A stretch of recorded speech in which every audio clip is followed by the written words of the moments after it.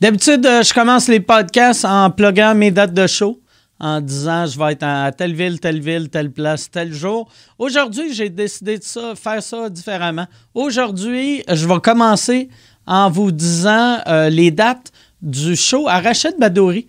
Parce que Rachid, Rachid, je l'aime. Un, je l'aime, Rachid. Et deux, Rachid, il revient en tournée à travers le Québec avec son nouveau spectacle, Les Fleurs du tapis.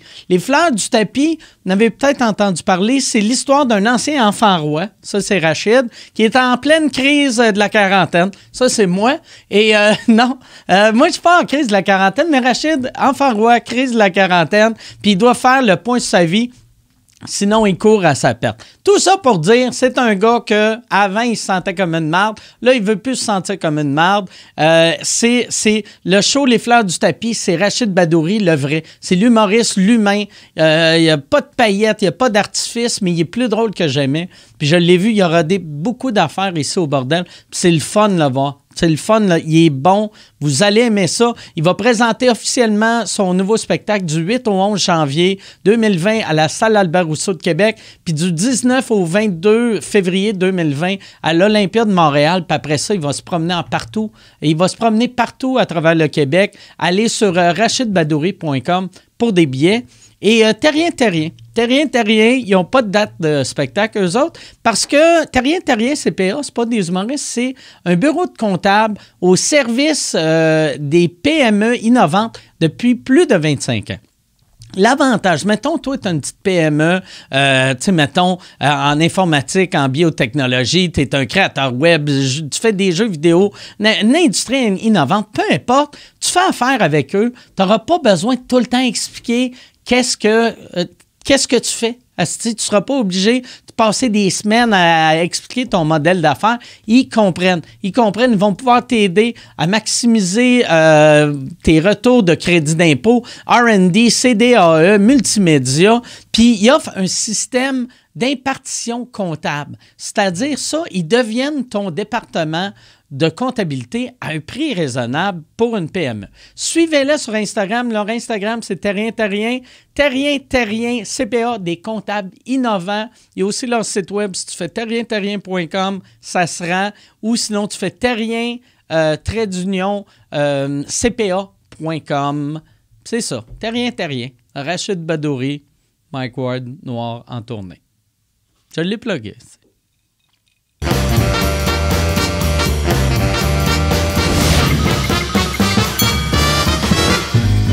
En direct du Bordel Comedy Club à Montréal, voici Mike Ward sous écoute. Merci.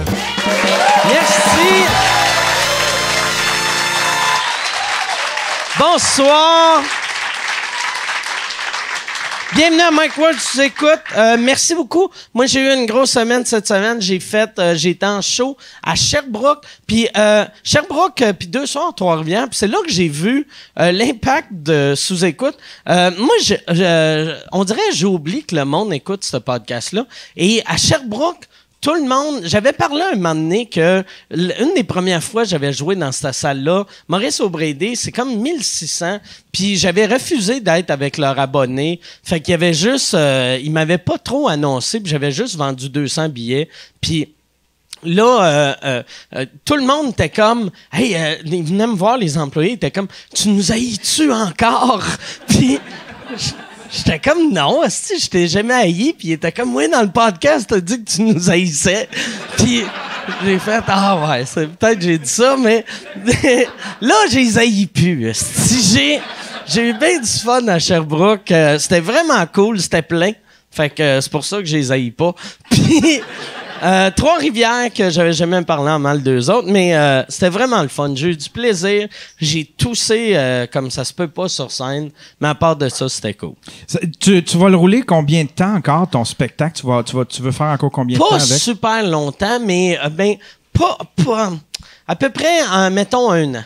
Un, an. Qui est pas super long pour une tournée québécoise, mais quand tu y penses, c'est long en tabarnak, là, tu sais. On, Chris, le Québec, on est une province que il y a cinq villes puis bien des villages, là, Puis pendant un an, euh, je vais me promener. Puis tu, puis tu disais qu'aux États-Unis, eux autres, les gars comme, admettons, Bill Burr, tout ça, eux autres, ils font un spectacle par genre par année. Ils, ont, Ouais, ils sortent mais- un special à toutes les années. Ben, on dirait que c'était Louis C.K. qui avait parti cette mode-là. Là, là, ils sont, sont, moins, euh, sont, sont moins intenses, mais eux autres, ils font juste les villes majeures.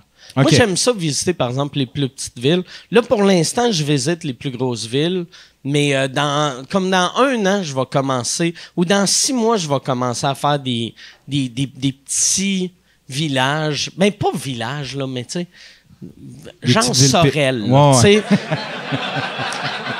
Quand tu vois que je suis rendu à Sorel, dis-toi, bon, ça tourne à la chèvre. Ouais, c'est ça. Je ferais pas, mais moi, j'aime ça faire les deux. Tu sais, comme je vais faire la, la tournée des villes, un coup que ça, ça va être fini, pendant que je vais monter l'autre show, là, je fais une tournée, une vraie tournée de région, là. Je fais toutes, toutes, toutes les villes. C'est des Saint-Jean de, puis Saint-Raymond de. Ah, ouais, c'est ouais. des hosties de villages que personne n'a jamais entendu parler, là, tu sais. Euh, tu sais, que je joue souvent dans un sous-sol d'église, puis euh, pendant que le curé pleure. Mais c'est ça, j'ai bien du fun. Le- la, la tournée est le fun, puis euh, j'espère qu'elle va être le fun longtemps. Euh, je pense que oui. Puis, euh, mais c'est ça. Je pense que oui. Merci, merci à tous ceux qui viennent euh, voir le show. Ça me touche vraiment. T'amènes-tu, t'amènes-tu tout le temps un de, tu sais, un, un, admettons, comme Bernatchez ou, euh, tu sais, tes premières parties? J'amène tu- tout le temps deux premières parties. Ah ouais? Ouais, Partout où ce que tu vas, en Partout où ce que Abitibi, je vais, ouais. tu... ouais. Ah ouais? Bernatchez, je l'amène pas bien, bien, vu que c'est. euh, tu sais, vu que c'était le DJ, puis, euh, tu sais, j'en avais parlé ici, mais, tu sais, euh, je vais sûrement l'amener au vieux clocher à Magog. Vu que lui, ça prend une salle que le monde arrive une heure d'avance. OK, OK. Tu sais, mais tu sais, comme quand tu joues dans un théâtre, le monde, le show est à 8. Surtout en, en des, des plus petites places, le show est à 8. Le monde rentre dans la salle à 7h57. OK. Fait que, tu sais, Bernatchez, je- tu sais, s'il me suit à Sherbrooke, il va être sur scène une minute et demie, tu sais. Ouais, ouais. Fait que c'est pas, ça vaut pas la peine pour lui, mais j'aime ça. Preach est tout le temps là. Puis euh, le, le, le deuxième ou la deuxième, c'est souvent Christine. Euh, Christine, Daniel Grenier. Euh, Jer en a fait une coupe. Va falloir que je rappelle Jer pour qu'il revienne. Mais c'est ça, j'aime ça, deux premières parties. Je m'en vais avec Jer, justement, cette semaine. Je m'en vais à Rouen. Euh, pour OK. faire, ouais, on va faire un road trip. On s'en va à Rouen. Lui, il va faire deux spectacles là-bas, puis il m'a demandé de le présenter. Ah, ouais, tu vas Ouais. monter sur scène. Ouais, je vais monter Ah, sur scène. Je suis excité au bout. euh, Ah, c'est cool. Dans Ouais. ton, pas vraiment patelin, mais quasiment. Ouais, ouais, non, je suis oublié là-bas. Ben, en fait, ils me connaissent Ils te connaissent à cause à cause de, sous-écoute. Je suis allé au FME l'année passée. Puis là, j'étais là, ah, c'est cool, je vais croiser plein d'amis, plein de chums. Ah. Puis là, il y a du monde qui faisait, qui, qui, me pointait. Puis là, je faisais, ah ouais, c'est vrai, j'étais le king ici. Puis en fait, quand ils venaient me voir, ils faisaient, t'es le gars de sous-écoute. Ah ouais, mais Mhm. ouais, c'est ça. J'ai déjà habité ici aussi, là, mais bon, Tu oui, je suis le gars de sous-écoute. t'étais le king de la BTB quand le monde t'a pointé? Tabarnak, j'aime ça que... T'as une belle humilité. C'est ça. C'est ça que j'aime. C'est pour ça que je t'ai engagé. Hey, cette semaine, on va tout de suite euh, commencer le show. Euh, cette semaine, je suis vraiment content d'avoir euh, mes invités. Là, on dirait que je place les chaises, ça se vraiment content de les avoir. Ça fait, ça fait un bout qu'ils l'ont pas fait. Mesdames et messieurs, voici Maxime Martin et Jean-François Mercier.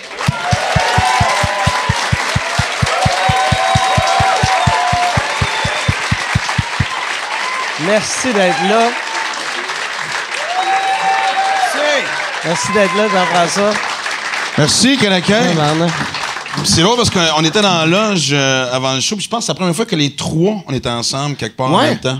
Que ce soit un talk show, un gala, n'importe quoi. Fait que, euh, Ben, en prison, une fois. une hein, prison. Mais tu disais que Non, tu voulais pas je parler voulais de pas. Mais, Mais c'est vrai. Merci pour Euh, avoir, euh, m'avoir lavé le dos. en prison, ce serait qui euh, Ce serait Ça, ça qui est, le- tu vas- on vient d'ouvrir cette porte-là. C'est qui qui se fait enculer en premier? Toi, C'est toi, ouais, c'est c'est toi, clairement c'est- moi. Clairement moi. Par un de nous deux, peut-être Ouais, même. ouais. c'est, euh, Ouais. T'étais d'accord? Ben, moi, je te tiendrais, sais. je te flatterais les cheveux. Le pire. C'est de On peut-tu l'affection. s'attendre? C'est de l'affection. Je sais que t'as de la misère à le prendre, là, mais- Ouais, non, c'est ça. Moi, la pire chose là-dedans, ça serait même pas le viol ou la sodomie, ça serait d'avoir un homme qui me flatte les cheveux. Je serais En comme. faisant. Est-ce que c'est magique? Ça fait Ah ouais? 120 secondes qu'on parle. Est-ce que d'autres, est-ce que les gens qui nous écoutent pensaient que ça serait un autre genre de début que ça? C'est c'est vraiment. J'ai vu, hey, j'ai vu, euh, c'est drôle. euh, hier, tu sais, je savais que tu étais au podcast, mais c'est même pas pour ça que je regardais ça. Je, je me suis embarqué dans un loop de. Je regardais du stand-up, euh, genre des vieux numéros de Juste pour rire, puis j'ai vu ton numéro de la couille. Ça vient bien. Ça, ça a bien Écoute, vieilli. non, mais- Ça- non, mais ça a bien vieilli. Ah, la couille euh, qui Ouais, vieillit vas-y, très, très bien. Maxime. Euh, Mais la, Elle non, vieillit bien, ma couille. C'est- sa crème de jour qui fait la différence. C'est vraiment. Ne pas sous-estimer la Mais vaseline. même, c'est- même euh, quand, quand, quand tu regardes le numéro, vu que ça fait longtemps, tu sais, c'est un numéro de critique sociale qui Ben- finit. Mais même quand tu sais la fin, au, dé- au début, tu écoutes, puis là, tu fais OK, ouais, je sais ça. Puis après, dans le milieu, tu fais Pourquoi qu'il sort une esti? Puis là, c'est le fun de te voir aller vers la moi, je l'ai jamais réécouté. La seule fois que je l'ai écouté, c'est quand j'ai sorti mon DVD, euh, le DVD du troisième show. Puis là, on avait mis des best-of. C'est la seule fois. Je regarde jamais ce que je fais, euh, à part la, la série avec ma fille, mais sinon. euh, puis on l'a mis parce que là, on sort le show euh, bientôt, puis on fait une espèce de throwback Thursday, puis tout ça. Ouais, ouais, ouais.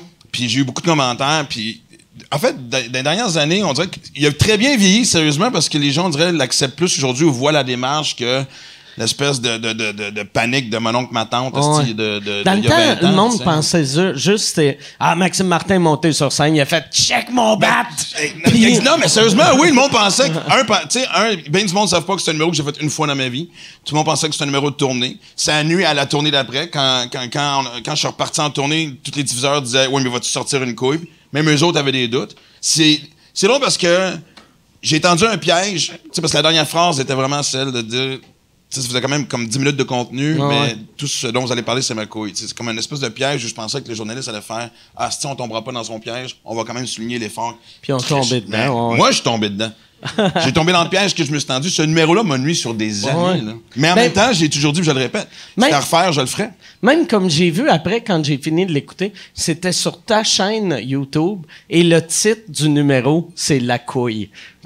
Mon Dieu, j'ai appelé ça la polémique. Ça a l'air que vous voyez bien comment, comment je contrôle mes affaires. hein, c'est- vrai, t'avais appelé ça la polémique. Ça veut dire que quelqu'un dans ton équipe a fait, il sait pas ce qu'il fait. On va- il est mêlé, le monsieur. Le monsieur. Le monsieur, j'aime ça. Mais ouais. Ta, ta- ta fille, elle l'a vu, ce numéro-là, j'imagine? Ah, C'est pas une discussion qu'on a eue. T'as-tu vu ma couille, hein? Non, euh, Ça ma, fille a pas lu mon livre. OK? Euh, elle a. Je pense qu'elle a vu le numéro du moche. La, euh, quel- à un moment donné, quelqu'un a fait un commentaire sur la couille, puis a fait Ouais, ouais, ouais. Fait que je sais pas, mais tu sais, comme. Non, sérieusement, on se parle de tout. C'est long parce que même, la- tu sais, elle me raconte des affaires que je pense. tu sais, Je pense que j'ai un lien particulier avec elle. euh, Des fois, elle me raconte trop, mais c'est Ben, correct. c'est ta fille. Ben, c'est ma fille. ouais.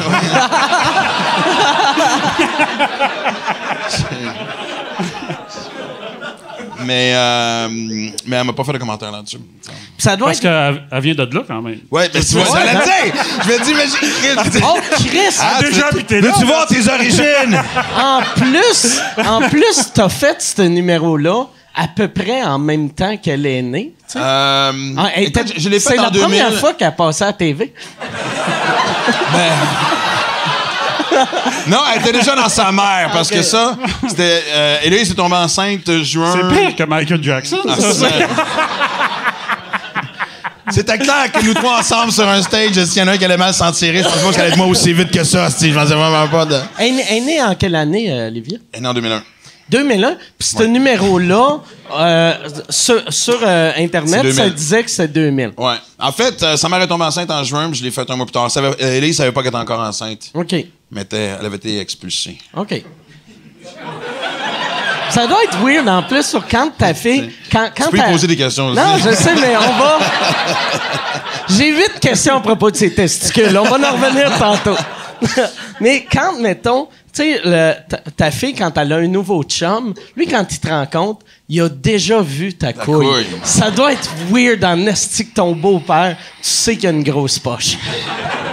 Ben, c'est comme ça que je les intimide. c'est- mais, euh, ouais. là. Non, mais là-dessus, je sais même pas quoi répondre à ça. Excuse-moi. non, non, mais c'est. euh, Salut, Brandon. Mais, euh, Elle en a, elle en a- elle en a un bon, là, présentement. Je l'aime bien. Un début qui part en couille. Eh oui, voilà. Hey, puis j'ai. j'ai euh, pour faire des frettes, hein? Ah ouais? Encore là, on... Là, toi, ton, ton show qui vient de commencer, je, asti que je n'entends beaucoup parler. plus, OK. plus que ma couille? Plus que ta couille. Ouais, ouais. C'est qu'il fait pas décrocher Ouais, de ça. j'ai, euh, j'ai, j'ai, euh, j'ai pas eu la chance de le voir encore, mais je Ben, je suis à Sorel bientôt, Mike. Puis à Saint-Raymond de quelque chose.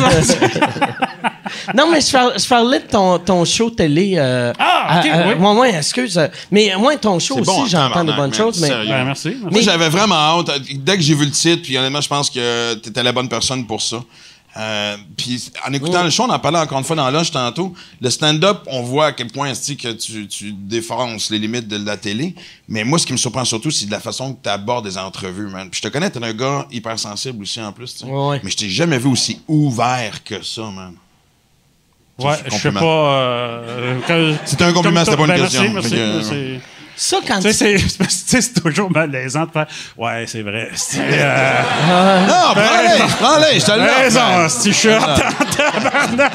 Je trouve ça le fun, ça soit toi qui l'as dit plutôt que moi. Je voulais ouvrir en- avec ça. Ça, quand, quand ils t'ont approché euh, pour ce show-là, t'hésitais-tu au début ou Non, tu t'es dit, hey, yes, je veux euh, le faire? De la façon dont ça s'est C'était passé. pas ton idée, là? Non, non, c'était un euh, format belge, euh, belge-flamand.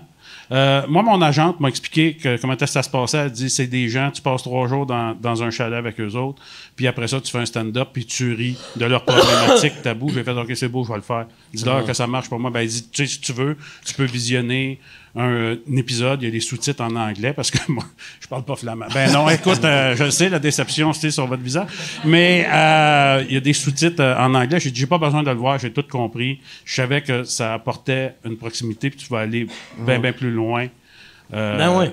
dans l'humour. Fait que j'ai dit oui tout de suite. Quand est venu le temps de négocier ça, elle m'a dit, à partir de combien tu le fais plus? Puis j'ai dit, moi, Nadia, je le fais gratis. Euh, fait qu'arrange-toi pour pas le perdre. Peut-être pas débuter les négociations en lui disant ça. tu sais, c'est sûr qu'eux autres aussi, euh, ben, tu sais, il y avait des euh, questionnements. Tu sais, euh, tu sais, Ça t'allait à qui? Je veux dire, ça n'aurait pas été toi, je veux pas. Ouais, t'étais clairement nous son- deux, mais ton, je veux ton dire, tu premier. sais, ça aurait pas été. T'étais euh, clairement le premier choix. Là, Ça aurait pas été Guillaume le Métivierge, Ouais, ouais. tu sais, Mais Je vois pas pas- Jay du Temple faire ça, là, tu sais. Ton Mais- exemple est encore plus drôle? Il voulait savoir si euh, quel Jean-François Mercier qu'il y aurait pour le faire. Tu, sais, tu comprends? Je pense que c'était plus ça. senti une pression? Ou vraiment c'était clair, là, par exemple? Parce qu'on sait souvent, tu sais, la, la pire expression Ok, que je ok, fais, je c'est te carte blanche. de- je te raconte de quoi. Mon, mon agente m'appelle, elle dit euh, il y a une rencontre, tu peux y assister, tu es libre. Tu sais, C'est une rencontre de rire euh, sans tabou avec euh, la directrice de la programmation de, de Z, Mélanie Bérère. Puis elle dit tu peux y aller si tu veux. Fait que je dis ah oui, ben je vais y aller, Caroline. Tu sais, euh. Fait je m'en vais là, mais tu sais, je comme un observateur, là. Fait que je m'habille comme En un observateur. observateur. Puis à un moment donné, euh, elle me posait bien des questions, tu sais. Puis tu fais, euh, elle m'en pose beaucoup de questions pour un gars qui est là juste comme observateur. Puis c'est des questions quand même assez pointues. Puis à un moment donné, tu fais, OK, c'est mon entrevue d'embauche. T'avais- Ah, ouais, je me serais engagé? chemise, ça, tiens. T'étais suffisamment engagé à l'époque? Non, je n'étais pas engagé, c'est ça que j'ai compris. là. Moi, dans ma tête, je pensais qu'on s'était entendu, mais c'était pas réglé avec Z. Fait que j'étais loin d'être engagé. Là. C'était réglé avec le producteur, c'était pas réglé avec le diffuseur. Fait que tu sais, tu comprends? euh, c'est ça. là. C'est quand même une grosse Mais différence. quand tu dis que tu l'aurais fait gratis, tu. Tu sais, quand tu su que tu avais la chance de faire ce show-là, c'était-tu genre, Asti, j'ai-tu T'as-tu la. pas me proposer? non, non, mais attends, là! Quand t'as dit, là? Non, mais une vraie question, parce que, tu sais, on sait, on le vit toutes, surtout nous trois, plus que n'importe qui d'autre, tu sais, on, on la connaît maintenant avec l'espèce de surpolissement correct de tout. C'était une esti belle façon d'aller crisser une volée là-dedans, là. Ouais, ben, euh, quand j'ai dit je voudrais le faire gratis, c'était ça. Je voudrais pas passer à côté de cette chance-là. Puis pour plusieurs, raisons. Tu sais, euh, ben, premièrement, ça te permet de faire des rencontres. Euh, c'est, tu peux faire le tour du monde en restant trois jours dans un chalet à Valmorin puis être payé pour le faire. Euh, Il y a un défi, il y a un danger aussi.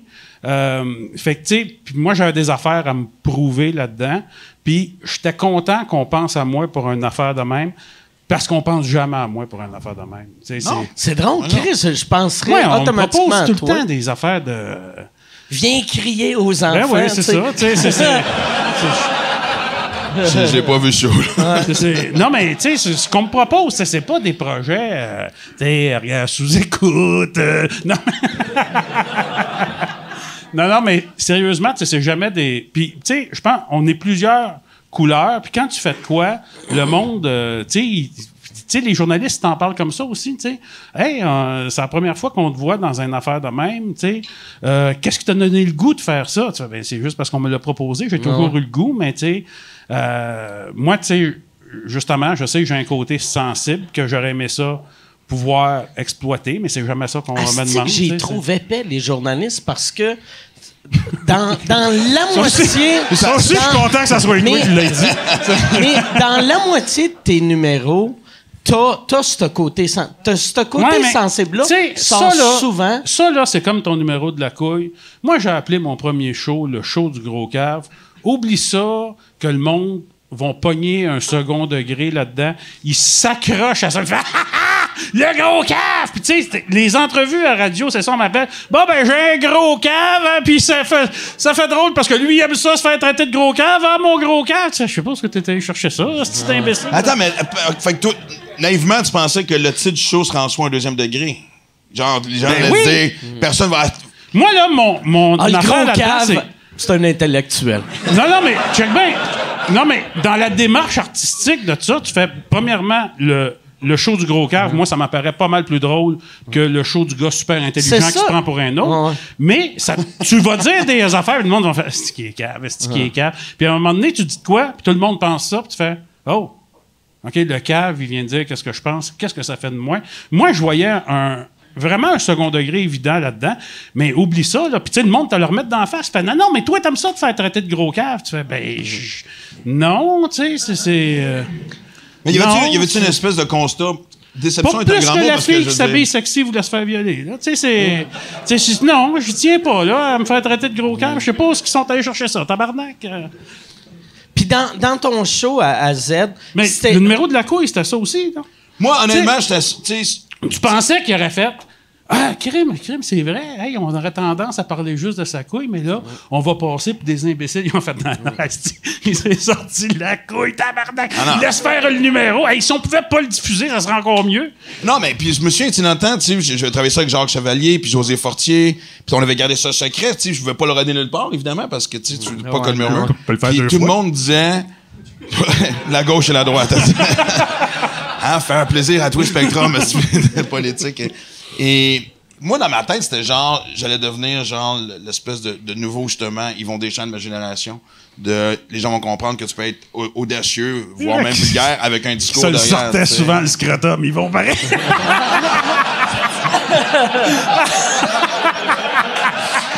Ah, c'est drôle, ça, man. Et ça aussi, là, tu vois, c'était mon tour de dire, je que ça soit toi qui ait dit ça. Mais moi, par exemple, pour vrai- moi, j'ai chaque fois que j'ai fait des enfants d'un, je me suis tout le temps dit personne va le voir sauf moi. Parce que j'ai on Mais toi, dirait avec toujours le été, temps. de, de nous trois, t'as été le plus direct, je pense. Tu sais, moi, je me souviens, quand, quand j'ai sorti Tolérance Zéro, t'étais venu voir le show, t'avais dit, Max, c'est là, fait si je veux passer, il faut que j'aille un peu plus trash. Moi, je me souviens, en tout cas, je, sais, je- je- je généralise, mais de nous trois, t'es celui que, un, je pense que, ben, pas le moins peur, mais qui va plus loin dans le sens que, sinon, le mais moins- tu fais. Le moins peur, oui, oui. Ouais, le moins peur. Le moins peur. Ouais. Un genre euh, d'inconscience que seuls euh, les déficients mentaux possèdent. Mais tu sais moi, moi moi, à chaque fois à chaque fois que mettons vois-tu comme là mon dernier show euh, la- part du temps le monde voit pas mon deuxième degré puis là euh, il y a bien des critiques qui ont vu du deuxième degré même où il y en avait pas Puis là, j'étais comme, voyons, tabarnak, là, tu sais. Euh, Fait que euh, j'écris les affaires pour moi, puis je me dis, ben, tu sais, tant que, tant que moi je suis heureux, puis ça passe, c'est assez pour moi, tu sais. Ben moi, moi, je l'avoue ouvertement, puis je te l'ai même déjà dit en privé, mais sais, il y a une 10-12 ans, le moment donné, là, tu vois, ce costume, artistiquement, je me cherchais, puis à tous les niveaux. Ouais, t'avais tout ça. perdu ta confiance. tu sais. Christ, tabarnak. Puis un moment donné, on était ensemble, puis je te voyais. Je me souviens pas ce qu'on était. Je me souviens même plus si c'était en anglais ou en français, puis je te regardais sur scène, je fais. Il s'en calisse. puis ça m'a fait du bien. Ça m'a, ça m'a redonné l'espèce d'esprit de Chris, oui, on s'en calait, ça. Ah ouais. Mais toi aussi, quand tu buvais, tu t'en colles ici.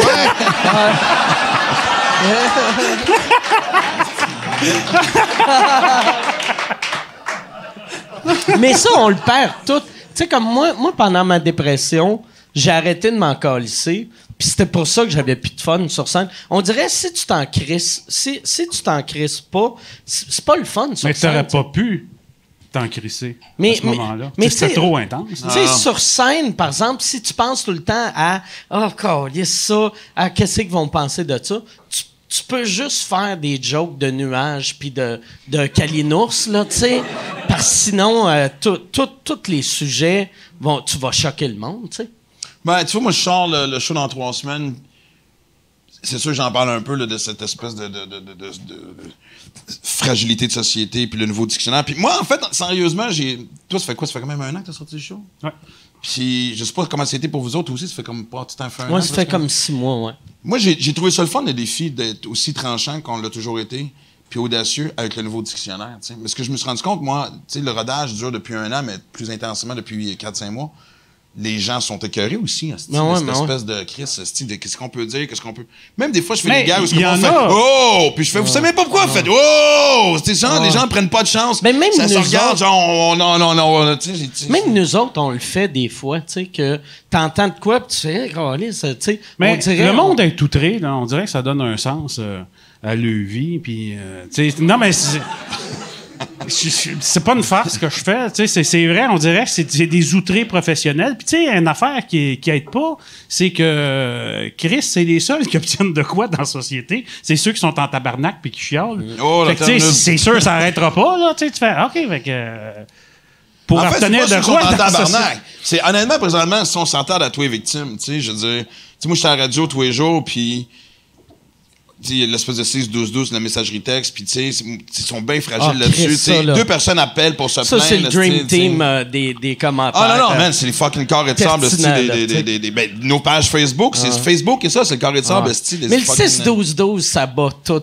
tous les Euh, commentaires non, de Moron, attends là, minute. Attends une minute. Le journal de Montréal, euh, Internet, là, Ouais. en bas de page, je t'envoie les commentaires. Ça, c'est euh, ça, c'est quelque chose. Moi, je me souviens, dans le temps, j'écrivais pour eux autres aussi, je lisais jamais les commentaires. Ah, c'est- ma, mère ma mère, elle, elle lisait les commentaires. Je pensais, quand t'écrivais les commentaires en bas des... Ah non, c'est vrai, t'écrivais dans le journal. là,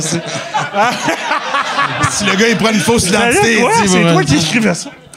Moi, par exemple, je vais souvent sur le Journal de Montréal, je check juste le titre, je lis même pas l'article, puis je vais voir les commentaires. Ça me rend asti que je trouve ça drôle. J'ai souvent le goût de, de répondre au monde. Mais c'est dur, euh, Asti que sont le fun. C'est dur de pas devenir méprisant si tu penses que la population, c'est ça, tu sais. Oh, mais, on- Non, mais moi, mais ça- c'est les extrêmes, tu sais. C'est des extrêmes. Ben, tu sais, moi, tu sais, il y a une période de ma vie où j'étais plus en tabarnak, puis quand quelqu'un m'envoyait chier sur, sur Facebook ou peu, ou peu importe, si j'y répondais, tabarnak, puis tu sais, ça me, Ah, ça on m'a l'a tout passé fait. pendant deux, trois jours. On l'a tout fait. Maintenant, je bloque automatiquement, ça me fait chier. Moi aussi, j'en recevais là. quatre par jour, puis ça me mettait en tabarnak pendant deux, trois jours. Exact. J'étais pas très, très heureux durant cette période. Mais des fois, je lis des affaires, puis je me dis, faut que t'aies vraiment un esti de piscine de marde dans la tête pour même te dire, esti, Chris. Mais on te prête des intentions. Souvent, c'est de la projection big Ouais, time. mais tu sais. ouais, ouais. Là, toi, on sait bien, tabarnak, esti, depuis que t'es connu, tu fais tout ce qui bouge, puis tout. Tu fais, ben non, tu m'as pas vu en face, pas une fille, veut rien savoir de moi.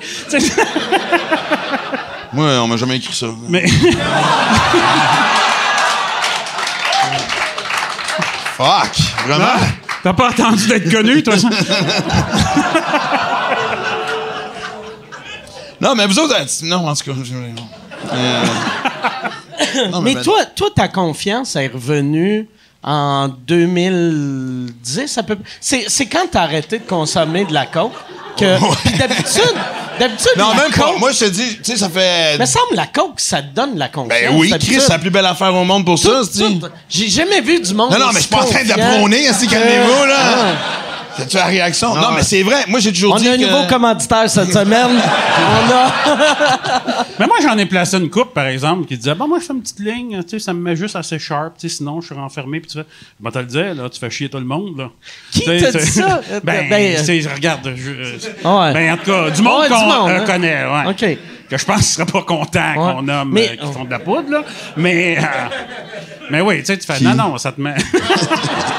Mais moi, je remarquais jamais que. Tu sais, toi, dans le temps, je remarquais pas que tu faisais de la poudre. Non, mais j'en faisais pas, j'en faisais pas. euh, tu sais, moi, je me souviens quand je suis allé consulter. J'ai lu ton livre, t'en faisais en tabarnak. T'en, Non, non, sniffais le matin tout seul chez vous. non, non, non, pas le maintenant, mais. Non, mais pour vendre des exemplaires, là, t'en fais plus. mais... Ouais, si un jour je vais écrire un livre, il faut que j'en prenne plus. Tabarnak, qu'est-ce que c'est, sinon. Mais, euh, mais, tu sais, moi, je me. J'avais déjà arrêté un peu tout seul, puis j'avais été au, au 100 commis, là, qui s'appelle le CRD. Moi, j'ai fait euh, de, l'externe avec une intervenante. Ah, je pensais que t'allais dire j'ai fait de l'ecstasy. L'externe- Non, non, mais Chris, c'est la seule que j'ai pas essayé. euh, ça puis l'héroïne, c'est deux affaires que j'ai pas essayé. Et Ben, j'attends d'avoir l'ecstasy- 70 ans pour ça. L'ecstasy, T'as moi, j'ai- essayé ça? Ouais, ouais. j'ai- euh, Ah, ouais. euh, J'avais peur de me chier dans les culottes. J'étais comme... euh, tu... euh, Attends, tu prends de la dope, la première chose qui vient la tête, c'est j'ai peur de me chier ben, tu dessus. viens comme mou. euh, tu viens comme mou du bas du corps, ouais. Pour c'est- vrai? Ouais, ouais, ouais. Ça, ouais, c'est l'ecstasy, les Ouais, gars. ouais, ben, c'est. Soit ça ou mes sales molles, là, tu sais, à l'âge que je suis rendu. Tu sais, c'est. Ah, c'est que j'ai de la misère à Hey. t'imaginer sur l'ecstasy, man. C'est une drogue de flattage. Si je vois cette petite brette-là, après, t'as- Ah! Ça devait être Ouais, t'as au- magique. hein. là, tu au lieu du gros cave, tu serais le gros, gros colleux. Fait que- Gros Puis- mais euh, Chris, il faut que tu deviennes mou en esti pour te chier dans les culottes, par exemple. Ouais, mais. Ça veut dire que ton trou de cul, il fait juste. Il s'endort. Ben, tu sais, tu fais le nom du trou de cul. Tu sais, je sais pas comment Ah te dire. Là, tu fais. Tabarnak, qu'est-ce que tu tu sais, tu sens plus. euh, fait que tu fais. En tout cas, je suis content de pas en avoir pris, hein. Ben, c'est ça. Le truc, tu te mets. Si, J'aurais jamais pensé ça de toi. tu sais, man. c'est- c'est dur, hein, de te faire toucher quand en plus tu s'embarques parce que tu viens de te toucher culottes. Ouais, tu flattes une fille pendant que tu chies dans tes culottes. C'est un peu moyen. Fait que des choses que. C'est merveilleux. Faudrait qu'on se voit plus souvent. C'est c'est quand t'avais fait Ah, de J'ai mis euh, mes couches, euh, by the way. Ouais, c'est ça. J'ai On fait ça dans un party d'un gars le soir chez le producteur. Euh, J'avais une recherchiste qui avait, qui avait de l'AI, là, tu sais. Puis euh, j'ai fait, c'est quoi? Elle dit, ah, regarde, laisse faire du F. Je te, je te dis pas, je l'ai pris. J'ai fait, qu'est-ce que je viens de prendre? Oh, shit! de T'étais chaud? Ben, un petit peu, là. Oh, mais il Calisse. pas paf, là. Non, non, non. Non, non, non, non. Hey, Gab, je peux te Mais moi, j'ai jamais fait ça. Si vous posez des questions après. c'est- Moi, ça l'a embarqué, genre, tu sais, ça se supposait de prendre une demi-heure. Moi, ça a embarqué, genre, deux heures et demie plus tard. Il n'y a plus personne dans le party. Il y avait, il y avait juste mon producteur gay. Euh, mais ça nous a rapprochés. Tu sais, c'est. Chris, suis con- j'aurais aimé ça que tu deviennes accro à l'ecstasy, juste pour que ça serait facile de savoir que t'en prends, vu que t'aurais tout le temps des couches, fait qu'on t'entendrait marcher. T'entendrais un genre de... Et voilà, Mais, euh, maintenant j'ai l'image de Jeff en couche. C'est c'est vraiment. Je suis-tu le seul qui a ce feeling-là? Euh, les- Tu sais, c'est surtout des jeunes qui ici. OK, euh, OK, OK, OK. OK, vous me laissez tomber, Parce OK. que- non, mais- Je le vois, il garde ma génération en tabarnak. Que- quand un jeune fait de l'ecstasy, il est assez jeune que même quand il relaxe, son trou de cul reste fermé tout seul. Ouais, je pense que c'est ce bout-là ce que t'es déjà Ouais, c'est ça. Le reste, ça allait super bien. Faut que ton corps soit magané en esti que quand tu relaxes, ton trou de cul il rouvre. Tu viendras pas me faire à croire que t'as pas des fuites anales une fois de temps en temps. hein. Jamais arrivé encore. C'est sûr que ça va arriver. Avec le genre de vie que j'ai, c'est sûr. Je me rends pas à 50 ans avec des bobettes propres. Quel âge que t'as, Mike? J'ai euh, 46. Non, quoi, 46, ouais. je viens Ok. d'avoir Toi, t'es 40. plus vieux que moi, je pense. Ben oui, j'ai 52, moi. Ouais, viens donc 50. Ah, ben, C'est silence. bienvenue. euh, Moi, j'aime ça vieillir, pardon. Moi, j'ai. euh, oui. Euh, sérieusement, moi, ça, ça me fait pas si peur que ça. On, on en reparlera dans 20 ans. Mais tu sais, honnêtement, moi, de commencer à avoir fait Moi, je vais être mort dans 4. Mais parlez-en dans Ah, Attends 20 ton ans. surprise, puis après ça, c'est- dire, Moi, j'avais écouté Rose Battle, puis une des présentations d'Alexandre Barrette, c'était il a l'espérance de vie d'une banane déjà ouverte. Mike Ward! Chris de. Asti que c'est drôle, man. Chris de bon gag. Mais toi, ouais, toi, tu vas vivre vieux. Tu sais, ta, ta Ben, ça grand-mère est encore vivante. Ouais. Puis euh, t'es, t'es vraiment en santé. Ouais, mais tu sais, je veux dire, moi, ce que, en Mais fait, tu j'ai- c'est fais là, j'ai- tout c'est c'est quoi, pour j'ai arrêté d'avoir peur de, de vieillir. Euh, justement, depuis que j'ai commencé à courir des marathons et des triathlons, puis je vois beaucoup de monde dans soixantaine, 70 ans, puis, tu sais, puis vraiment, je me souviens, à un moment donné, j'étais à Tremblant là, au mois de juin, puis il y a une côte qui est Chris Mantoff, puis en fait, c'est drôle comment c'est une belle leçon d'humilité, parce que je me souviens qu'à un moment donné, juste avant de commencer cette côte-là, il y a un petit cul de 25 ans. On sait quel âge qu'on a parce que c'est marqué sur notre mollet, en cas que tu aies besoin d'une intervention médicale, il va savoir quel âge que tu as. Ah, ouais? ouais, ouais. Fait que, puis il y a un petit cul de 25 ans qui est là. Tabarnak, si je tenais des côtes, il se parle du seul, il est sur le bord de virer fou, puis. Puis je le dépasse, puis je fais, Asti, man, il vient de se faire dépasser par un ancien coquet. En disant ça, c'est un bonhomme de 72 ans qui me dépasse. Oh, yeah. Là, il faisait, moi, je faisais Probablement de coqué. Comment coquet? Mais, joke à part, maintenant, de, de voir ces gens-là, de cet âge-là, parce que ça m'a complètement démystifié de la peur de vieillir. Ils m'ont commencé à paniquer à 80. D'ici ce temps-là, je me suis promis de me calmer, de, de me calmer les nerfs. sais. Mais ta- là, ta grand-mère, elle a 97 ans? 96. 96. Dans trois semaines, ouais. Puis, es-tu en santé? oui, oui, ben, santé. Ouais, ouais, tu sais, elle a 96, là, tu sais. Oui, oui, dans 80. Dans, dans, dans sa catégorie d'âge, elle est dans le top tiers. Mais, euh, non, mais ça se déplace avec une marchette. Mais, tu sais, honnêtement, je veux dire, euh, elle en perd des bouts, là. Tu sais, des fois, il faut que je répète la même histoire quatre fois. Mais, honnêtement, tu sais, je suis allé la voir au foyer, puis il y a du monde qui ont 20 ans de moins qu'elle, qui, qui sont crissement plus en mauvais. Ouais, ouais. Fait que, euh, mais, puis on en, ouais, c'est drôle. Ben, là, tu- on s'en va dessus, là, aussi, mais. On change de sujet. Mais. Tu vas-tu pleurer? Ah ouais, Calice, je suis avec deux hosties de sensibles, là. deux? Calice. Mike Ward, les deux tapettes qui pleurent. On vient, on vient d'en manger dans le tabarnak, comme ça, hein? Qui dit le gars qui broyait dans son bain euh, c'est avec son 41. ça. Ah ouais, c'est vrai, ouais! L'avais oublié celle-là, merci Jeff. T'as-tu de. C'est drôle d'image. Sophie du Rocher, elle comprend rien!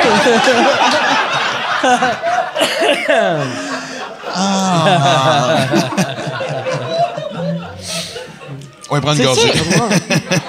Bon, regarde, il était là, s'ils s'en vont. Salut Richard, salut Sophie. Ça serait fou d'apprendre que Sophie Durocher puis euh, Richard Martineau font partie de mes Patreons. Ça serait magique. Mais ouais, euh, euh, toi, t'as, t'as, vécu la même affaire que moi, à peu près en même temps que moi.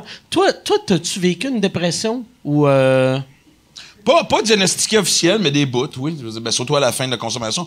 Tu quand la journée que tu décides de te prendre en main, c'est parce que tu es au bout du rouleau. Tu souvent, le monde disait, t'as trouvé où, comment t'as trouvé la force d'arrêter? C'est parce qu'on est depuis la force de continuer, tu sais, mais. Chris, Mais- t'en souviens pas, on, on était ensemble à Moncton, esti, puis. euh, Ben moi, je me rappelle, c'est un esti de belle brosse. Puis là, Ah non, mais non. Mais moi, j'ai j'ai déjà été sur l'autoroute, esti, puis l'aqueduc, esti, là, tu fais, si je fais juste ça, c'est fini, là. Probablement que si j'avais pas eu Livia, je veux pas penser à ce qui serait arrivé. Mais moi, j'ai jamais appelé ça une dépression. Parce que quand je pense à cette période-là, c'est comme si c'était quelqu'un d'autre.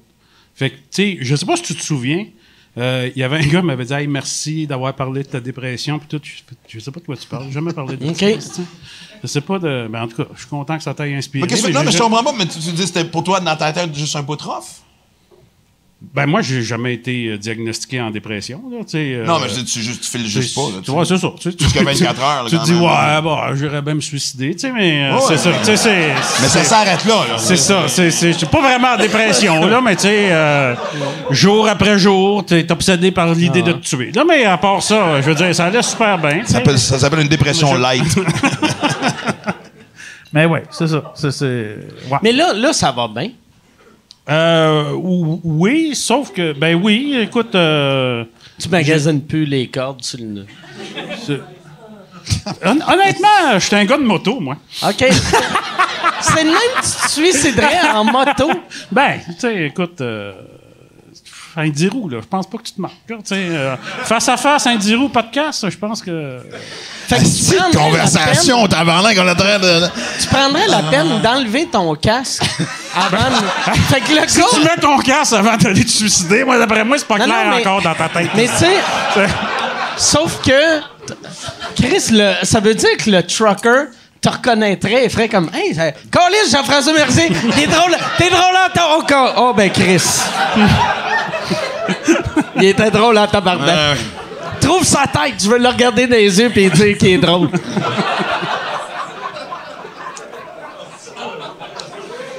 Moi, j'aurais peur de scraper le troc du gars, pareil, tu sais. Ah non. Ah, Ah vraiment, non. c'est Ah ça? non. que Ah Attends, là, ton oui, pour de vrai? Ben non, mais Chris, euh, Pas la vie du gars qui, lui, vient de tuer quelqu'un, esti. Toi, tu penses, esti, au. au Tu sais, il y en a, ils mettent un petit toutou dans le grille de radiateur, comme s'ils venaient de frapper un enfant. Tu fais, qu'un qu'un tabarnak, esti, lave-la ta joke. ça, c'est pas mal plus drôle que ton toutou Ah. dans la grille de radiateur. Les deux jambes qui sortent du coffre, c'est des vrais. Toi, as-tu déjà été suicidaire ou. euh, Non, j'ai eu des pensées noires certains jours, mais suicidaire, c'est. Mais c'est parce qu'à un moment donné, tu penses que T'as c'était. tué les autres, plus. tu sais. Ah, la liste était longue à l'époque, tu sais, mais. euh, non. euh, je pense que à travers tout ça. Tu sais, à un moment- tu vis tellement un carrousel d'émotions comme un moment donné. Moi, j'ai déjà dit les paroles. Je serai plus jamais heureux un jour de ma vie. Je l'ai écrit dans le livre, ça aussi, même. Puis, puis j'y croyais. Moi, j'étais sûr que. Tu sais, moi, je crois beaucoup à la vie après la mort, pour la réincarnation. Je suis pas le seul des trois qui y pense, mais bon. Puis, euh, je m'étais dit, ah, j'ai dû être un esti de trou de cul dans, dans, dans la vie précédente. Fait que je paye pas présentement. Là, je vais Ok. trouver la porte en esti. Non? Ah ouais. Et, euh, et je pensais vraiment que c'était un mauvais sort que j'avais. Puis c'est fucking. C'est, n'importe quoi de penser de même. esti. Ouais, que moi, je- moi, cette vie-là, c'était une sentence de prison. Je vais, je vais la vivre, puis j'étais sûr que Dieu allait me faire vivre, allait me faire vivre très longtemps parce que je méritais d'être malheureux longtemps. Non, c'est fou ce que tu, ce qui te passe Il par y a eu pas mal de femmes dans cette prison-là, pareil. Esti, non, hein, C'est la. La seule prison que je connais que les prisonniers ils ont de la coke, des Ah! groupies, puis euh, T'es trip à trois. Un hostie de belle prison. ah ouais, c'est la plus belle prison. Même El Chapeau, il est pas bien traité de même. Oh! Pas sûr qu'on est dans la même catégorie, hostie, là, mais. euh, Fait que toi, euh, c'est quoi l'incarnation? C'est quoi tu penses que tu vas être dans la prochaine vie? Je pense pas c'est quoi. Moi, je pense que. Je pense que tu. Je, je crois à l'âme, je crois à l'évolution de l'âme. Puis, tu sais, moi, c'est pour ça que je trouve ça fun comme, comme moteur de, de- de- de motivation de changer le plus de trucs qui tapent ses nerfs dans cette vie-ci pour pas les répéter l'an que je pense que c'est toi sous une autre forme, mais qui continue. Je pense pas être une libellule, là, Tu t'es-tu déjà fait euh, euh, hypnotiser? OK. Fait que c'est- J'ai déjà une un image. de- J'ai déjà une image. Ah non, je raconte pas ça avec vous deux, hostie, Chris. Mais. T'étais Napoléon. Bon. T'étais-tu? Moi, moi, être le bon gars, moi, vous ouvrir la porte, assez, vous me Ah ben, dire- Chris. Eh, Chris, je peux même pas croire que je raconte ça. Mais dans une, dans une non, fuck that. Alors, je le regarde l'autre à côté Ah de non, moi. ben non, je ben fais, non, sérieusement, moi, je veux vraiment l'entendre. Ouais. Ouais. Ben moi, moi je, me rends compte que moi, je suis très solitaire dans la vie. C'est mon plus gros défi quand je rencontre une fille, c'est que j'ai besoin d'avoir mon espace, mon indépendance. Ah, c'est pour ça que t'es. Chris dehors tout de suite les autres. Pas, pas après, ouais. non, non. Mais, euh. Puis, et, tu sais, moi, je suis borderline. Des fois, j'ai des moments où je suis borderline ermite, là, tu sais. Je viens faire mes affaires, je coller sur mon camp. Puis, fait, il y, a- toujours une espèce de, flirt avec la solitude. Et je me souviens. Encore liste de tabarnak. Je me souviens juste de me voir. Sais, je présume que c'est, on est autour de 1600, 700, euh, 1600, 1700. Euh, je suis en Amérique du Sud. j'ai un look un peu espagnol, avec une barbe et c'est un beau bonhomme. Et euh, je suis sur le top d'une espèce de muraille de, de camp en train de se défendre et tu vois les, indigènes qui attaquent. Et je me souviens juste de regarder et de dire Calice, je suis tout seul. Puis, écoute, j'ai vu qu'à un moment donné, il y a eu une panique dans l'hypnose, parce que vraiment, il y avait cette espèce de senti- sentiment-là de je m'étais jamais senti aussi seul au monde.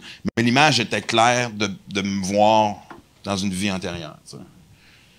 Fait que dans une vie antérieure. dans, dans les faits, par exemple, c'était plus les indigènes qui se faisaient attaquer. Ben par oui, les ben oui. Chris. Ouais, je- là- toi, toi, t'arrives de l'Espagne, tu tues des indigènes, tous tes, tous tes employés meurent, puis tu fais Chris, je suis tout seul, si.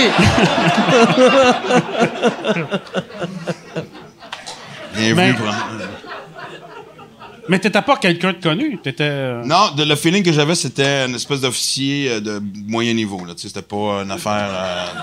Qu'est-ce qu'est-ce qu'il y a d'autre d'officier moyen niveau, tabarnak? que Fait que t'étais comme dans la chanson La tribu de Dana. c'est? Hey, je l'avais-tu collé que je leur ouvrais la porte en tabarnak, est hein? Non, Je l'avais-tu c'est- collé? Non, non, mais. Hey, euh, La non, non, tribu mais. de Dana. c'est Non, mais je niaise, mais c'est c'est quand même. C'est euh, intéressant. Ouais. Ah, C'est que je vous crois fuck all. Non, Non, non, c'est vrai. sérieux. Parce que moi aussi, je suis euh, extrêmement solitaire. Euh, Mais toi, toi, t'es hyper cartésien. C'est long, toi, tu crois pas à la vie après la mort, Moi, l'incarnation. dans une autre vie, Ça dépend, tu vois. Moi, j'y crois pas, mais quand euh, mes chiens sont morts, tu sais, je Mm. leur parlais, là, tu sais, fait que, tu sais, je crois pas. que- Non, mais moi, j'ai Jusqu'à trop de- Ouais, de- moi, de présence, ça, ça- moi, dans une autre vie, je me rappelle, là, si je suis un Amérindien. Puis là, il y a un Espagnol, il a tué toute ma famille. Puis là, quand j'ai voulu me défendre, il a pleuré, puis il a dit qu'il était tout seul. Puis après ça, je me suis reviré de bord. Ah, OK. Je comprends pourquoi tu voulais pas le compter. Asti, hein? Puis là, le monsieur espagnol, man. monsieur espagnol, il faisait de la poudre dans le village, puis...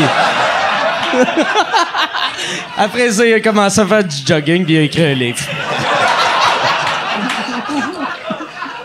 Calice, man. C'est drôle en tabarnak.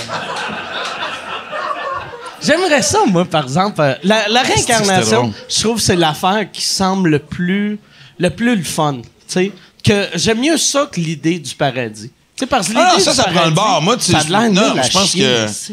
Moi, je trouvais ça juste frustrant que si- qu'a- qu'après cette vie, que tu meurs, qu'il n'y a rien. En fait, qu'il y ait tellement rien que tu n'as même pas le temps de te rendre compte qu'il n'y a rien, tu sais, que ça s'éteint de même. Mais non, moi, j'y- crois énormément. Il y a eu trop. de- Ah, c'est- non, je vois là. je- non, non. Ah ouais, non, non, Chris! Je vais refermer hey, la porte tranquillement, si je vais me Je suis garder pas, de je ce suis pas un intimidateur, tu peux le dire. Non, non, mais. mais j'aime ce concept-là. Des fois, quand je rencontre justement des gens qui sont athées, athées, mais vraiment troisième degré, tu sais, je, je trouve ça dommage de pas croire à rien. Prends une chance, ça, sais. Ça me semble que c'est la moindre des choses. Ça, c'est euh, le pari de Pascal. Ah oui, le philosophe. Oui. Ouais. Oui. Il disait, euh, tu sais, si, si t'es athée, puis que t'as raison, ben, quand t'es mort, tu perds. Et si t'es croyant, puis que t'avais pas raison, ben, tu perds. Mais si t'es croyant, puis que t'avais raison, ben, tu viens de gagner. Fait que c'est la seule option gagnante. Ouais.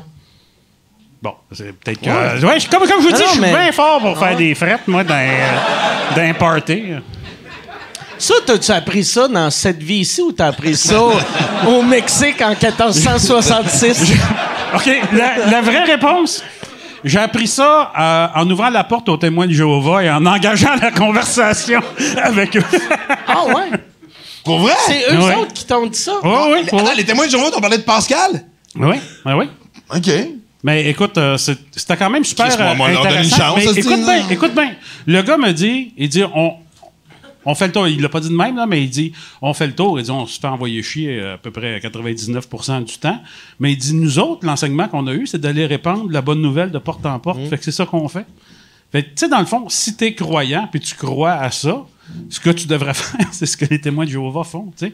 Si tu veux être euh, intègre. Non, mais moi, ils viennent tu chez nous, c'est un, monsieur d'un certain âge, puis il est gentil, puis on prend toujours le temps de jaser, puis il, tu me lit des psaumes, puis c'est juste ça que j'ai toujours reproché à, à- à aux religions organisées, c'est de pas questionner ce qui est écrit. un, moi, je pense que Dieu est plus. euh, On est-tu vraiment en train de parler de ça, nous trois? C'est vraiment. Man, il va y avoir des gags de cul tantôt, calmez-vous. Et, euh, mais avoir sérieusement, des non, mais je veux dire, c'est. Tu sais, moi, je pense que.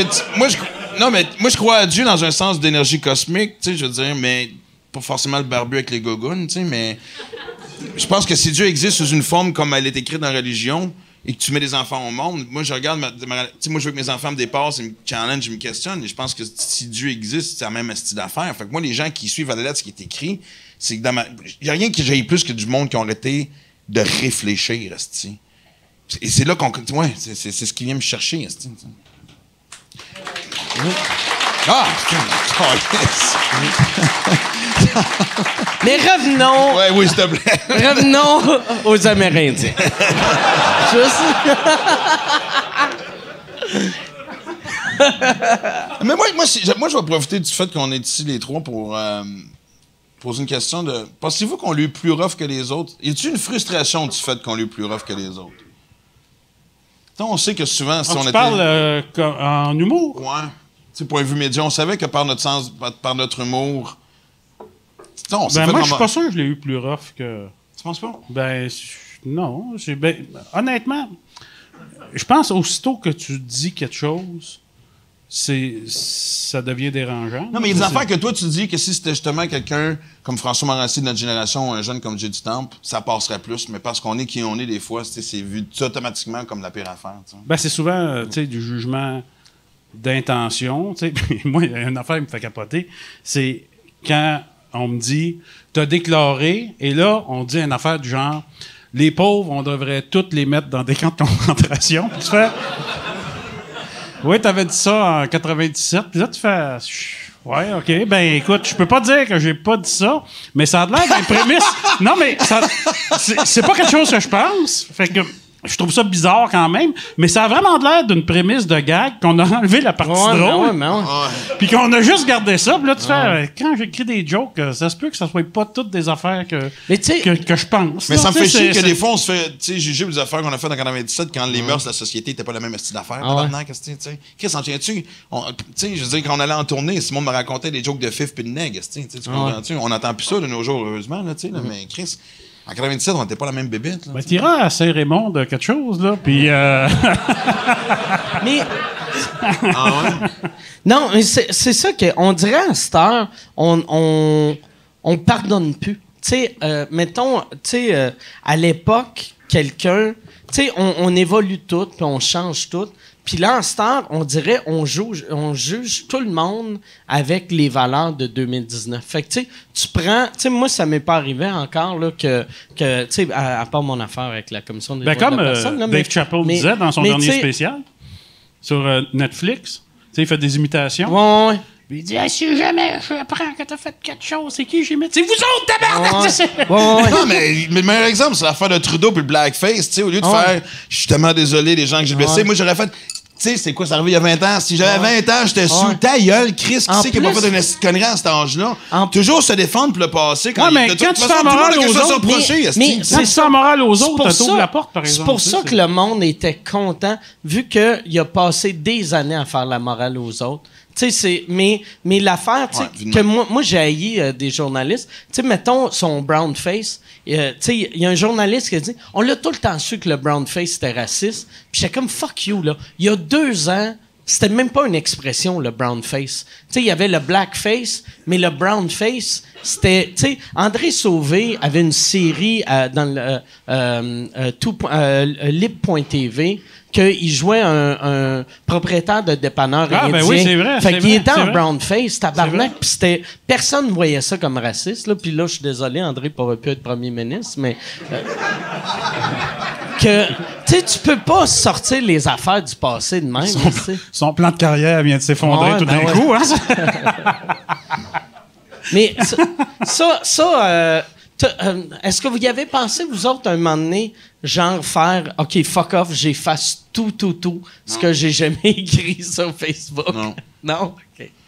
Non, parce Ça qu'à fait quelque part, ça je. fait pas assez longtemps, Facebook. Oh, Chris, que oui. Aux États-Unis, il y a une grosse. Tu sais, il y a, il y a dès qu'un. Admettons, il y, il y avait le réalisateur de Guardian of the Galaxy, tu sais, ils ont été retracés ses, euh, ses tweets, puis il y avait des tweets là-dedans où est-ce qu'il essayait de faire des satires. Mais- Mais, justement, c'est des jokes qui se font plus aujourd'hui. Il s'est fait ramasser, il Mais s'est fait- ils, ils vont souvent euh, dans le passé de genre de social justice warrior qui arrête pas de pointer tout le monde. Ben, du ça se fait des- ça se fait des comme- deux côtés. Mettons, mettons un Fred Dubé risque de vivre ça plus qu'un gars comme toi. Ouais. Moi, dès le jour 1 de Facebook, à part, mettons, en privé, il me semble qu'il y avait toujours cette conscience-là de faire crissement attention. Je dis pas que j'ai pas. Chris, moi. je me suis censuré, mais. Ah ouais? Moi, on ouais, non, dirait. moi, j'ai allumé quand, quand toi, t'as eu toute ta marde. J'ai fait, voyons, hé, calice, OK. Ah, c'est pas une place pour joker ici, t'as-tu? Tu sais, moi, Moi, je moi ça me faisait c'est capoter, ça. joker. Tu sais, tu sais, moi, quand, si j'aime pas quelque chose, ben, je. Tu sais, ça, ça coûte rien en plus. Là, Tu sais, tu fais, ben, j'irai pas le voir. C'est tout. c'est Non, pas, mais c'est euh, ça qui me fait halluciner. c'est les gens qui, qui viennent sur ta page juste pour te si t'envoies chier puis t'as soulevé ce que. Tu sais, j'ai l'impression que ce genre de personnes qui, esti, dans, leur téléphone, ils ont juste des tunes caïsses, esti, là, tu sais, juste pour. Non, mais. Non, mais tu comprends? Hey, Pourquoi, bière. tu. Je comprends pas ce phénomène-là de décaler, esti. Tu sais, c'est comme. Non, puis moi, moi, honnêtement, tu sais, j'ai- c'est ces boutons blocage facile. Moi, c'est ça que j'aime. Tu sais, autant je parlais de comment que, ça a été tough à un moment donné. Moi, tu sais, depuis une couple d'années, la vie est belle. Tu sais, je veux dire, je, je sais pas, l'aura autour est différent. Tu sais, je, je- je- je me tiens avec du monde positif. Fait que moi, t'es une mouche. C'est vrai qu'on te voit plus. hein. Non, mais pour moi, t'es un esti de mouche t'es- ou un moustique, t'as une espérance de vie de 30 secondes. Hey, t'es un esti d'épée. Ah, OK. Non, mais tu sais, regarde. tu- Vous Je en sors avez mon nouveau pensé- show, j'étais à la radio, j'ai une série avec ma fille, j'ai jamais été aussi en forme, je voyageais à travers le monde à faire des triathlons. Fait que si tu me dis que je suis un esti de cave, euh, que je suis pas drôle, devine à quel point que le sur 1 sur 10, je peux m'en calisser présentement, là. Fait que c'est ça l'affaire, tu sais. Non, mais c'est. Vous avez pensé quoi de, de Pierre Hébert qui s'est excusé pour avoir dit le mot mongol? Vous autres, vous auriez vous, vous seriez-vous excusé d'avoir dit ça, mettons? Ça, Ben, c'est moi, ils m'ont écrit, euh, j'avais dit mon gars sur euh, un gars le soir, puis j'ai pas. euh, À l'époque, t'avais écrit ou. Ouais, ouais. Puis j'ai pas vu euh, l'intérêt de m'excuser parce que pour moi, mes intentions étaient pures. Mais tu sais, aujourd'hui, je sais que le contexte est, est différent. Tu sais, fait que. Non, mais mon. Puis, mais c'est pas vrai, là. Moi, j'ai, j'ai un. euh, il, il est décédé, là, mais à l'époque, j'avais quelqu'un dans ma famille qui était trisomique. Puis, un trisomique, euh, et tu, le- il entendrait ça, il, il comprendrait même pas que tu parles de lui. Tu sais, c'est- il- il- il- le trisomique serait pas blessé Je sais pas par si ça. c'est généralisé. Non, mais c'est. Oui, oui, c'est très généralisé, là, mais. Non, mais- C'est. c'est Non, mais comme là, tu vois. On- peux dire, tu sais, il était temps qu'on arrête de dire le mot fif, mais fais-moi pas chier si je dis momoun, tu comprends-tu? Ah ouais. Mongol, c'est assez précis, mais. Tu sais, si je dis de quelque tu chose, c'est complètement débile, ça ça veut pas dire que je suis en train de. Tu comprends-tu? On peut pas tous s'approprier. On peut pas tous s'approprier les mots. Mongol, je peux comprendre, parce que ça a été tellement longtemps, Ouais. justement. Faudrait ramener le terme, vers les gens, euh, mais, mais tête débile, d'eau. on peut-tu le dire? on peut-tu ramener le terme tête d'eau à la place? Ah, c'est. J'ai hâte de voir le show du mot avec le punch tête d'eau en crise, me dire. Mais ben, il en a fait une coupe. euh. mais, tu sais, moi, je peux pas m'empêcher de me dire que c'est des sons. Tu sais, il y a des sons que dans un contexte, le monde se lève puis il sac le camp. Ça, c'est quand il essaye pas de te battre ou de te tuer. Là, tu sais, c'est c'est quand même, euh, c'est quand même On n'a pas le même public, est-ce que- pour euh, des sons. Là, On a probablement le même Ouais. public, c'est juste que ils t'ont pas encore accroché. Tes affaires là de Iron Man, ça doit les éloigner un peu. Moi, euh, moi, je pense qu'ils savent là que je suis trop gros pour me sauver. Mais moi, je pense, par exemple, là, on est, on, on est en train de redevenir dans, une- euh, revenir dans une belle place en humour. Moi, je chantais il y a une couple d'années, je comme, ah, tabarnak, on peut, tu sais, on dirait que c'est rendu tough. Puis là, tu sais, j'ai l'impression qu'on peut rire, on peut recommencer à rire. Ben, tu sais, le fait d'aller aussi loin qu'on l'a fait, puis encore là, tu sais. On s'est remis non, en puis je nous question, pitch un peu des fleurs parce que s'il y a bien du monde qui ont poussé le style limite, c'était nous trois. Mais c'est ça la job du fou du roi, c'est de tester ces estis de limites-là. Et là, on s'en va comment dans l'autre direction? Et j'avais peur que. Parce qu'on a, on a eu. Tu sais, on a. On a on a pu aller dans ce sens direction-là crissement longtemps. Tu sais, on a eu du fun en crise avant de se faire taper ses doigts. Les années ça, je veux dire. 90, début 2000 était le fun. Mais 90, 2000, ouais. Oh, Puis là, mais, ouais. mais tu vois, Les par années contre, que tu te rappelles plus, là. Penaille sans tabarnak. non, c'est plus après 2006, c'est que c'est flou, esti, mais, euh, mais ce que je veux dire, c'est que le- le- justement de ce que je parle depuis tantôt, de cette espèce de surpolissement correct puis de la fragilité de société, je pense que l'abcès va se crever plus vite parce que les gens commencent à voir le ridicule de calice. Puis surtout ici au Québec, tu sais, je veux dire, on- on- on- c'est un peuple qui aime rire, c'est nous autres. Puis là, tu, vas- tu vas m'enlever le droit de rire de. Non, à un moment donné, le monde va faire fuck off, puis on passe à d'autres choses. Fait que je suis content Mais que. le monde font déjà fuck off, on passe à d'autres choses. Moi, Ouais. j'ai jamais pensé Ben, moi, je pense que même c'était des- une majorité Ouais. de gens qui s'est Non, non. emparé de non, mais, l'espace non, médiatique. mais puis- son impact à l'est. Mais tu sais, tu comprends, quand tu vois Robert Lepage qui se fait euh, crisser ses pièces à terre, tu fais OK, moi je pense que n'arrive pas bien ben de soutien. Si lui, il en a pas eu, là, tu sais, c'est. C'est c'est- c'est- ben, c'est ça, c'est ça pareil. Tu sais, c'est- tu fais Oh, Carlis, le génie, l'enfant euh, l'enfant prod- prodige du euh, mais Québec. c'est ce que tu dis. sais, Déjà, je trouve que c'est déjà moins pire qu'il y a 2-3 ans. Tu sais, y a-tu y a-tu quelqu'un qui a cru que Robert Lepage était raciste? Je pense C'est- pas. Je pense c'est- En tout cas, pour moi, c'est impensable. En tout cas. Non, mais tu sais, je pense qu'à un moment donné, c'était que tout était. En fait, ce qui est un peu chiant, je pense qu'il y en a qui ont voulu devenir l'espèce de Robin. Il y en a qui se sont justifiés à être des Robins des Bois en être les premiers en attaquant ça. Ben ouais, C'était une façon on- de trouver ton propre. Hey, regardez, j'existe, moi aussi, j'ai quelque chose Ouais, à dire Ça, en dénonçant quelque chose. Exact. Chialer, Ben, ça lui donne une raison Moi, moi l'affaire, je trouvais vraiment drôle, là, c'est que souvent le monde disait, euh, tu sais, au- aussitôt que tu chialais en disant, hey, c'est de la liberté d'expression, il disait, c'est pas de la liberté d'expression, puis blabla. Puis tu sais, il me disait ça à moi, qui était en cours, tabarnak. Tu sais, puis il disait, c'est pas une question de liberté d'expression. Le gouvernement m'a emmené en cours, puis c'était pas une question de liberté d'expression. Fait que j'étais comme, c'est quoi ça prend, là? Pour que ça soit liberté d'expression. Il faut que je sois assis en train de me faire fouetter par des, des, des Saoudiens. C'est pas une question de liberté d'expression, femme gueule. Ouais. C'était ça que tu Ouais. te faisais dire. Ouais, Ouais, exact. mais là, je pense, mais en plus, je pense, tu sais, le- vu que c'est allé bien loin, ça fait aussi que euh, tout le monde qui allait loin, des, euh, euh, tu sais, en tout cas, moi, j'ai fait ça que tu dis, asti, ça, ça, peut-être qu'ils ont raison là-dessus. Tu sais, parce qu'il y a personne, tu sais, euh, il n'y a pas un bar qui a raison, tu sais, à 100 Fait qu'il y avait des affaires, des fois, peut-être que, que tu sais, je faisais, que je faisais. Ah ouais, ça, je- si je l'avais fait de même. Toi, de pas en parler avant le règlement final, euh, ton avocat t'a pas parlé. non, mais, non, mais moi, je m'en crisse parce que moi, je paye pas. Anyway, si, tu sais, comme là, je suis en appel, puis si je perds, on va aller à la Cour suprême. Si je perds, Ouais, mais à je Cour paye suprême, tu sais, ça veut pas dire que ta cause va être reçue. Là. Non, Là, mais, mais si elle n'est pas reçue, je paye pas. Moi, anyway, si je gagne, je gagne. Ah, mais ça si je perds, je euh? paye pas. Je paye pas. Tu sais, moi, je paye pas. Tu sais, je vais, Je- prendre mon pas. argent, je vais, je vais aller aux States, si je vais me cacher. Tu sais, moi, là, mon. Mike, le OK, réfugié. OK, OK. si tu veux te cacher, les States, peut-être pas meilleure place. Non, mais. non, mais pas. Je pense qu'il va être à New York au Comedy Club, il y a un poster avec sa face. Non, mais c'est pas. C'est juste. euh, c'est juste, moi, je paye pas. Tu sais, la- l'amende, je la payerai jamais. Je la payerai jamais. Puis s'ils me disent, Mais- regarde, on va saisir tes Ben comptes ouais, de banque, parfait, j'ai des comptes de banque aux États-Unis. Tu sais. Ah ouais? Ben, ils ils vont peuvent les pas saisir. saisir. Non, ils peuvent pas saisir aux États-Unis. Tu sais, fait que. On en prend note, tu sais. fait que là. Tu sais, euh, tu sais, fait qu'ils vont Fait saisir. que t'es rendu avec un compte de banque, tabarnak. Je vais dire avec- non, non, hey, moi, quand je l'ai connu, il traînait tout son argent sur lui. J'avais pas de T'es-tu compte de sérieux? banque. Ben oui! Moi, j'ai eu, un Voyons compte- donc. Oui. j'ai eu un compte de banque en 2002. Il a commencé itinérant! j'ai- Il a commencé itinérant, c'est ça? Je gagnais 100 000 par année, j'avais pas de compte de banque. Il fallait que ces gars-là qu'ils mettent une, une, euh, une caramel dans la gueule pour qu'il retrouve ses esprits parce qu'il avait pas assez d'argent pour manger, fait qu'il manquait de sucre. J'allais à Instachèque. Tu sais, vu que j'étais très old school dans ma mentalité. Attends, c'est plus old school, ça, là, Ah, non, mais j'avais Mon vu, grand-père avait une carte de à cet âge-là. j'avais vu un moment donné Ray Charles en entrevue Ah. qui disait quand tu fais de l'argent, tu caches ton argent du gouvernement, euh, enterre ça dans le bois. Puis là, j'avais fait ce monsieur-là, il a pas Dieu, mais il, est- il est- wise.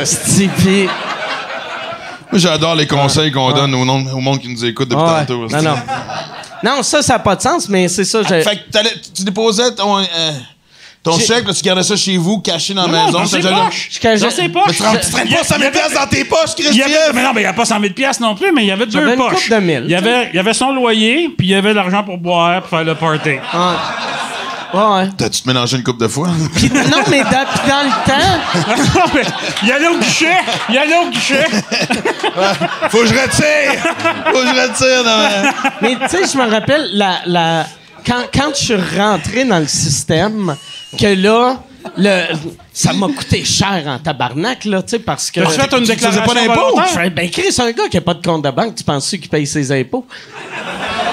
C'est clair, je payais pas d'impôts. hein. Même pas cash, non? Ben, cash. T'en Ouais. connais-tu à la maison? Non, non, non, j'avais pas de maison encore. Non, mais un appart, peu importe, parce que tu dis, Chris, tu passes au feu ou n'importe quoi. Ou, euh, J'avais, euh, un coffre-fort, euh, tu sais, euh, qui. Ouais. pensais que je te connaissais? En jeans.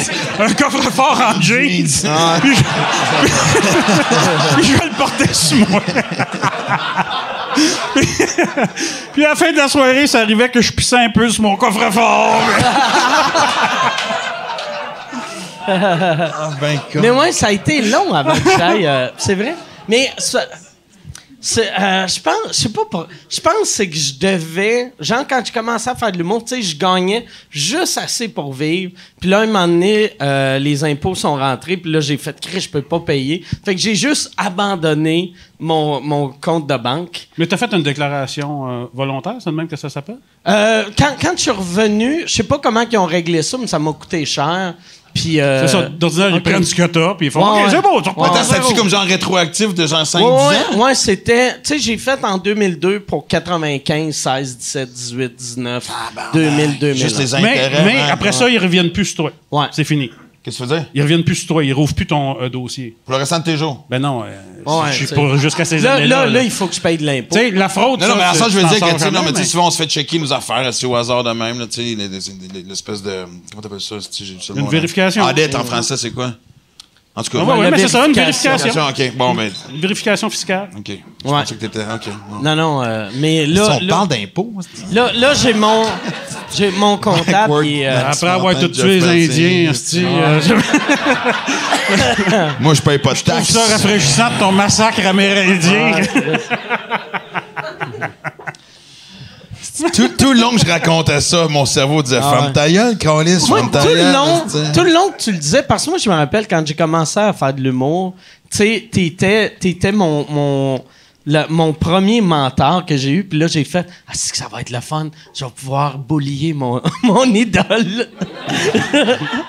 Quand j'ai commencé mon. Ouais, non, mais que- aussitôt que t'as commencé à dire que t'étais un conquistador, juste pour toi. t'étais un conquistador, puis là, Parce conquistador, tuais- j'étais espagnol. tu tuais, Ah, tu tuais les Ah, Amérindiens. ça peut te faire plaisir, je l'ai mangé une tabarnak. c'est, ok, tu sais? Moi, j'imaginais toi en train de poignarder Max Gros-Louis, puis... Mais c'est en Amérique du Sud, par exemple.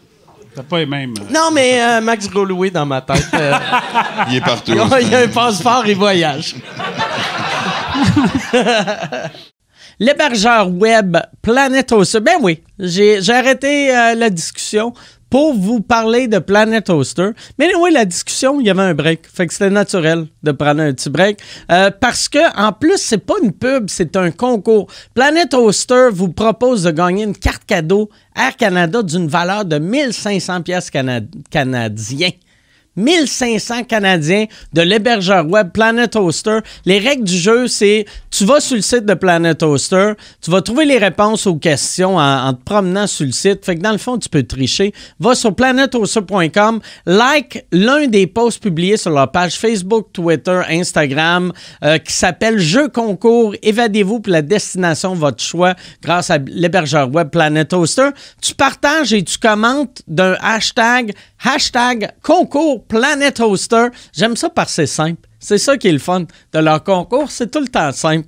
Euh, fait que tu, tu, tu, tu, commentes avec le hashtag concours Planète Hoster et euh, euh, encore une fois, jeu Planète, jeu concours, répétez-vous.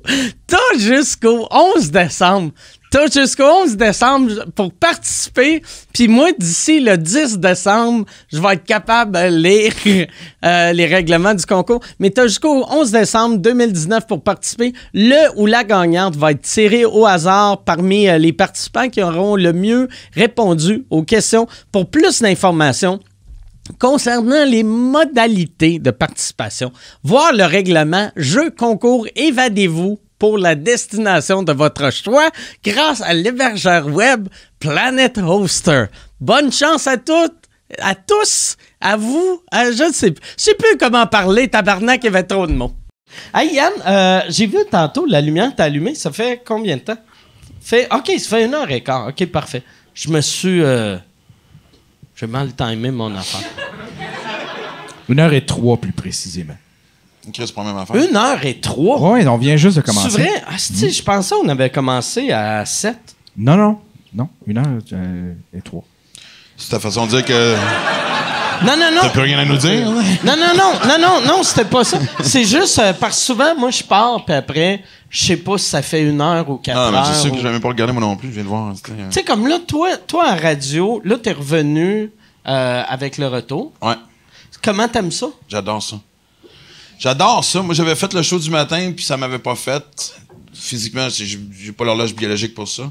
Surtout avec les shows puis tout. Puis après ça, ils m'ont mis l'après-midi, j'étais bien content. Il y a eu des changements administratifs. Là, j'étais une fois par mois. Après ça, je remplaçais l'été. T'as fait Puis pendant un bout de temps un genre de... Excuse, euh, je Ouais, non, vas-y. coupé Chez Max, le show live devant Ouais, le public, ouais. ça, je veux le refaire. C'était vraiment juste magique. Mais, mais je me suis rendu, je me, l'année, l'année que j'étais pas régulier, je me suis rendu compte que, que, à quel point que j'aimais ça, la radio. Tu sais, je trouve qu'il y a encore un petit côté romantique à, tu sais, dans, un, dans une société où ce que tout est justement réseaux sociaux, euh, tu sais, il y a encore ce côté-là, euh, le fun de la voix mystérieuse, même si les gens te connaissent puis ils savent de quoi t'as- à quoi tu ressembles. Je, je pensais pas que la radio avait encore cet impact-là. Je trouve ça bien rassurant, puis j'ai crissement du fun. Puis c'est où, c'est où le côté romantique là-dedans? Parce que j'essaie de trouver la romance. Non, j'ai hâte de voir c'est quoi le côté romantique. La voix mystérieuse dans les airs à travers les ondes. Ah, qui atteint ton cerveau et qui te fait voyager dans ta tête. Et je le sais, tu Ah. moi, tabarnak. Prends-moi. Mais ça veut dire que quand tu écoutes des gens à radio, tu t'imagines. Quoi? Ben, je sais pas. euh, Ils sont tous sont dans un Ah, mais bain, je vais ils donner quelque chose. Non, mais des fois. Des fois. Ça fait combien de temps qu'on est là? Lui, Non, dans mais- sa tête, François Pérusse, il est en bobette, asti. Regard sensuel, il parle vite. On va prendre une gorgée.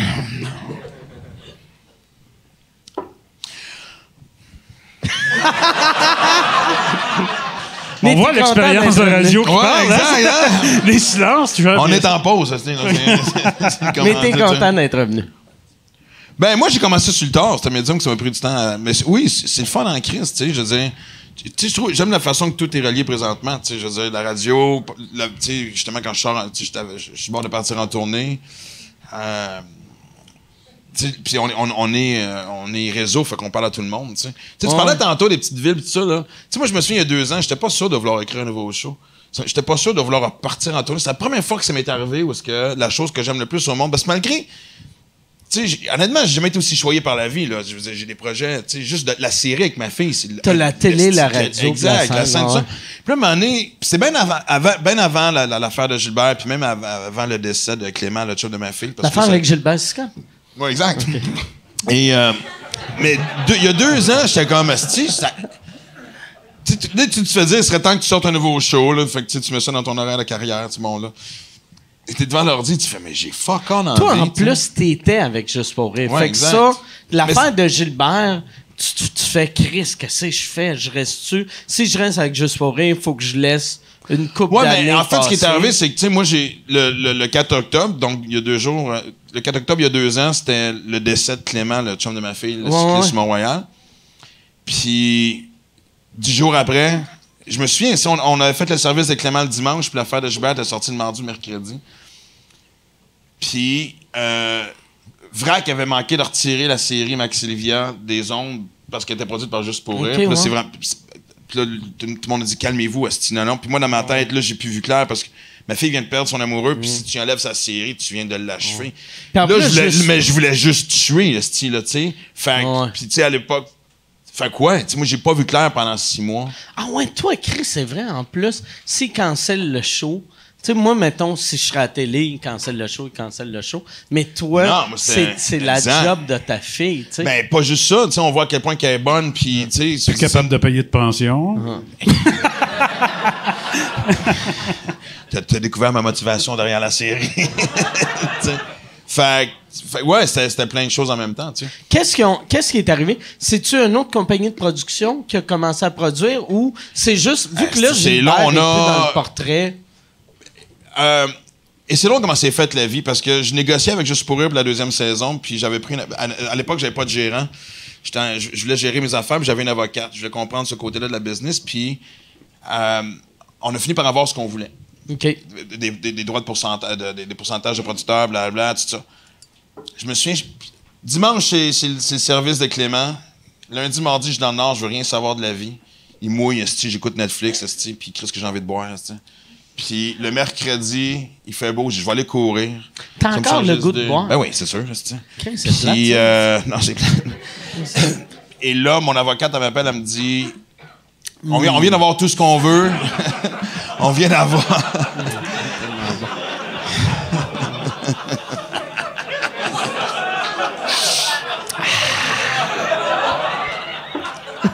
Chris, tu peux pas me faire chier avec Non, non, ta- Michelob Michelob Ultra, Ah ouais, tabarnak, non, je sais, je sais. Tu fais c'est chier, fais-moi chier avec un cognac, ou un scotch, j'avais. tabarnak, Ah pas esti, de la piste américaine, Chris, esti. Gab, amène-moi un cognac pas un scotch.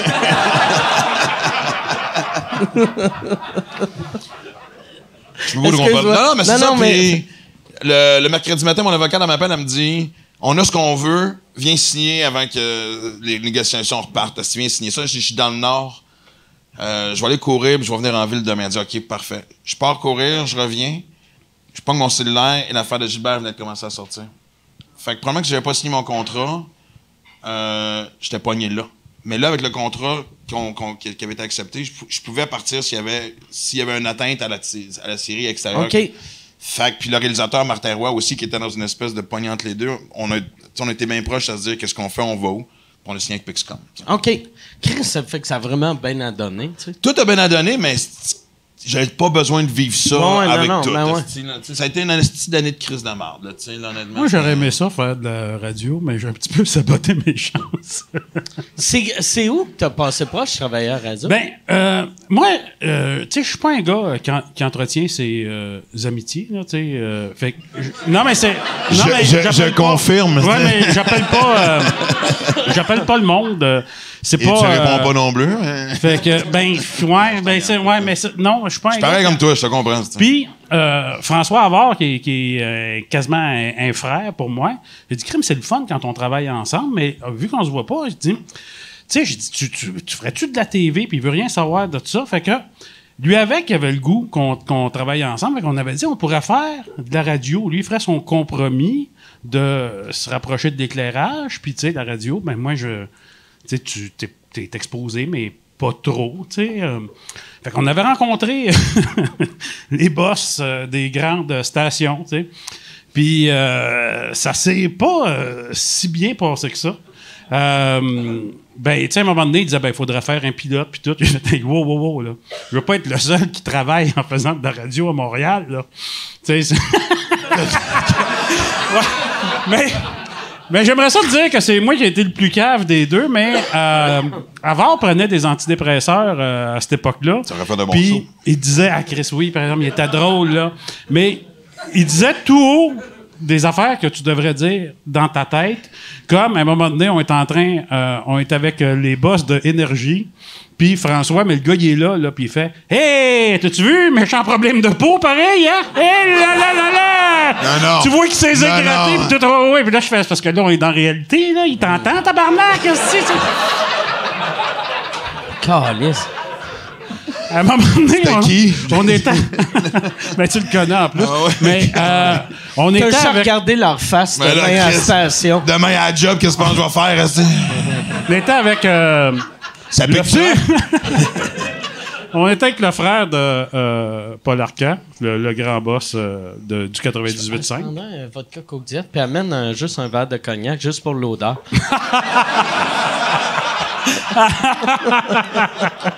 En plus, un scotch. Un scotch, parfait. Pour l'odeur?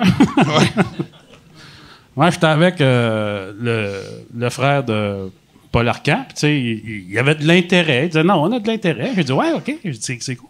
Mais il dit combien ça paye? Il dit ben c'est ça, là, faudrait euh, s'asseoir puis en discuter. Ben, j'ai fait, euh, ben, on est là, Calis, là.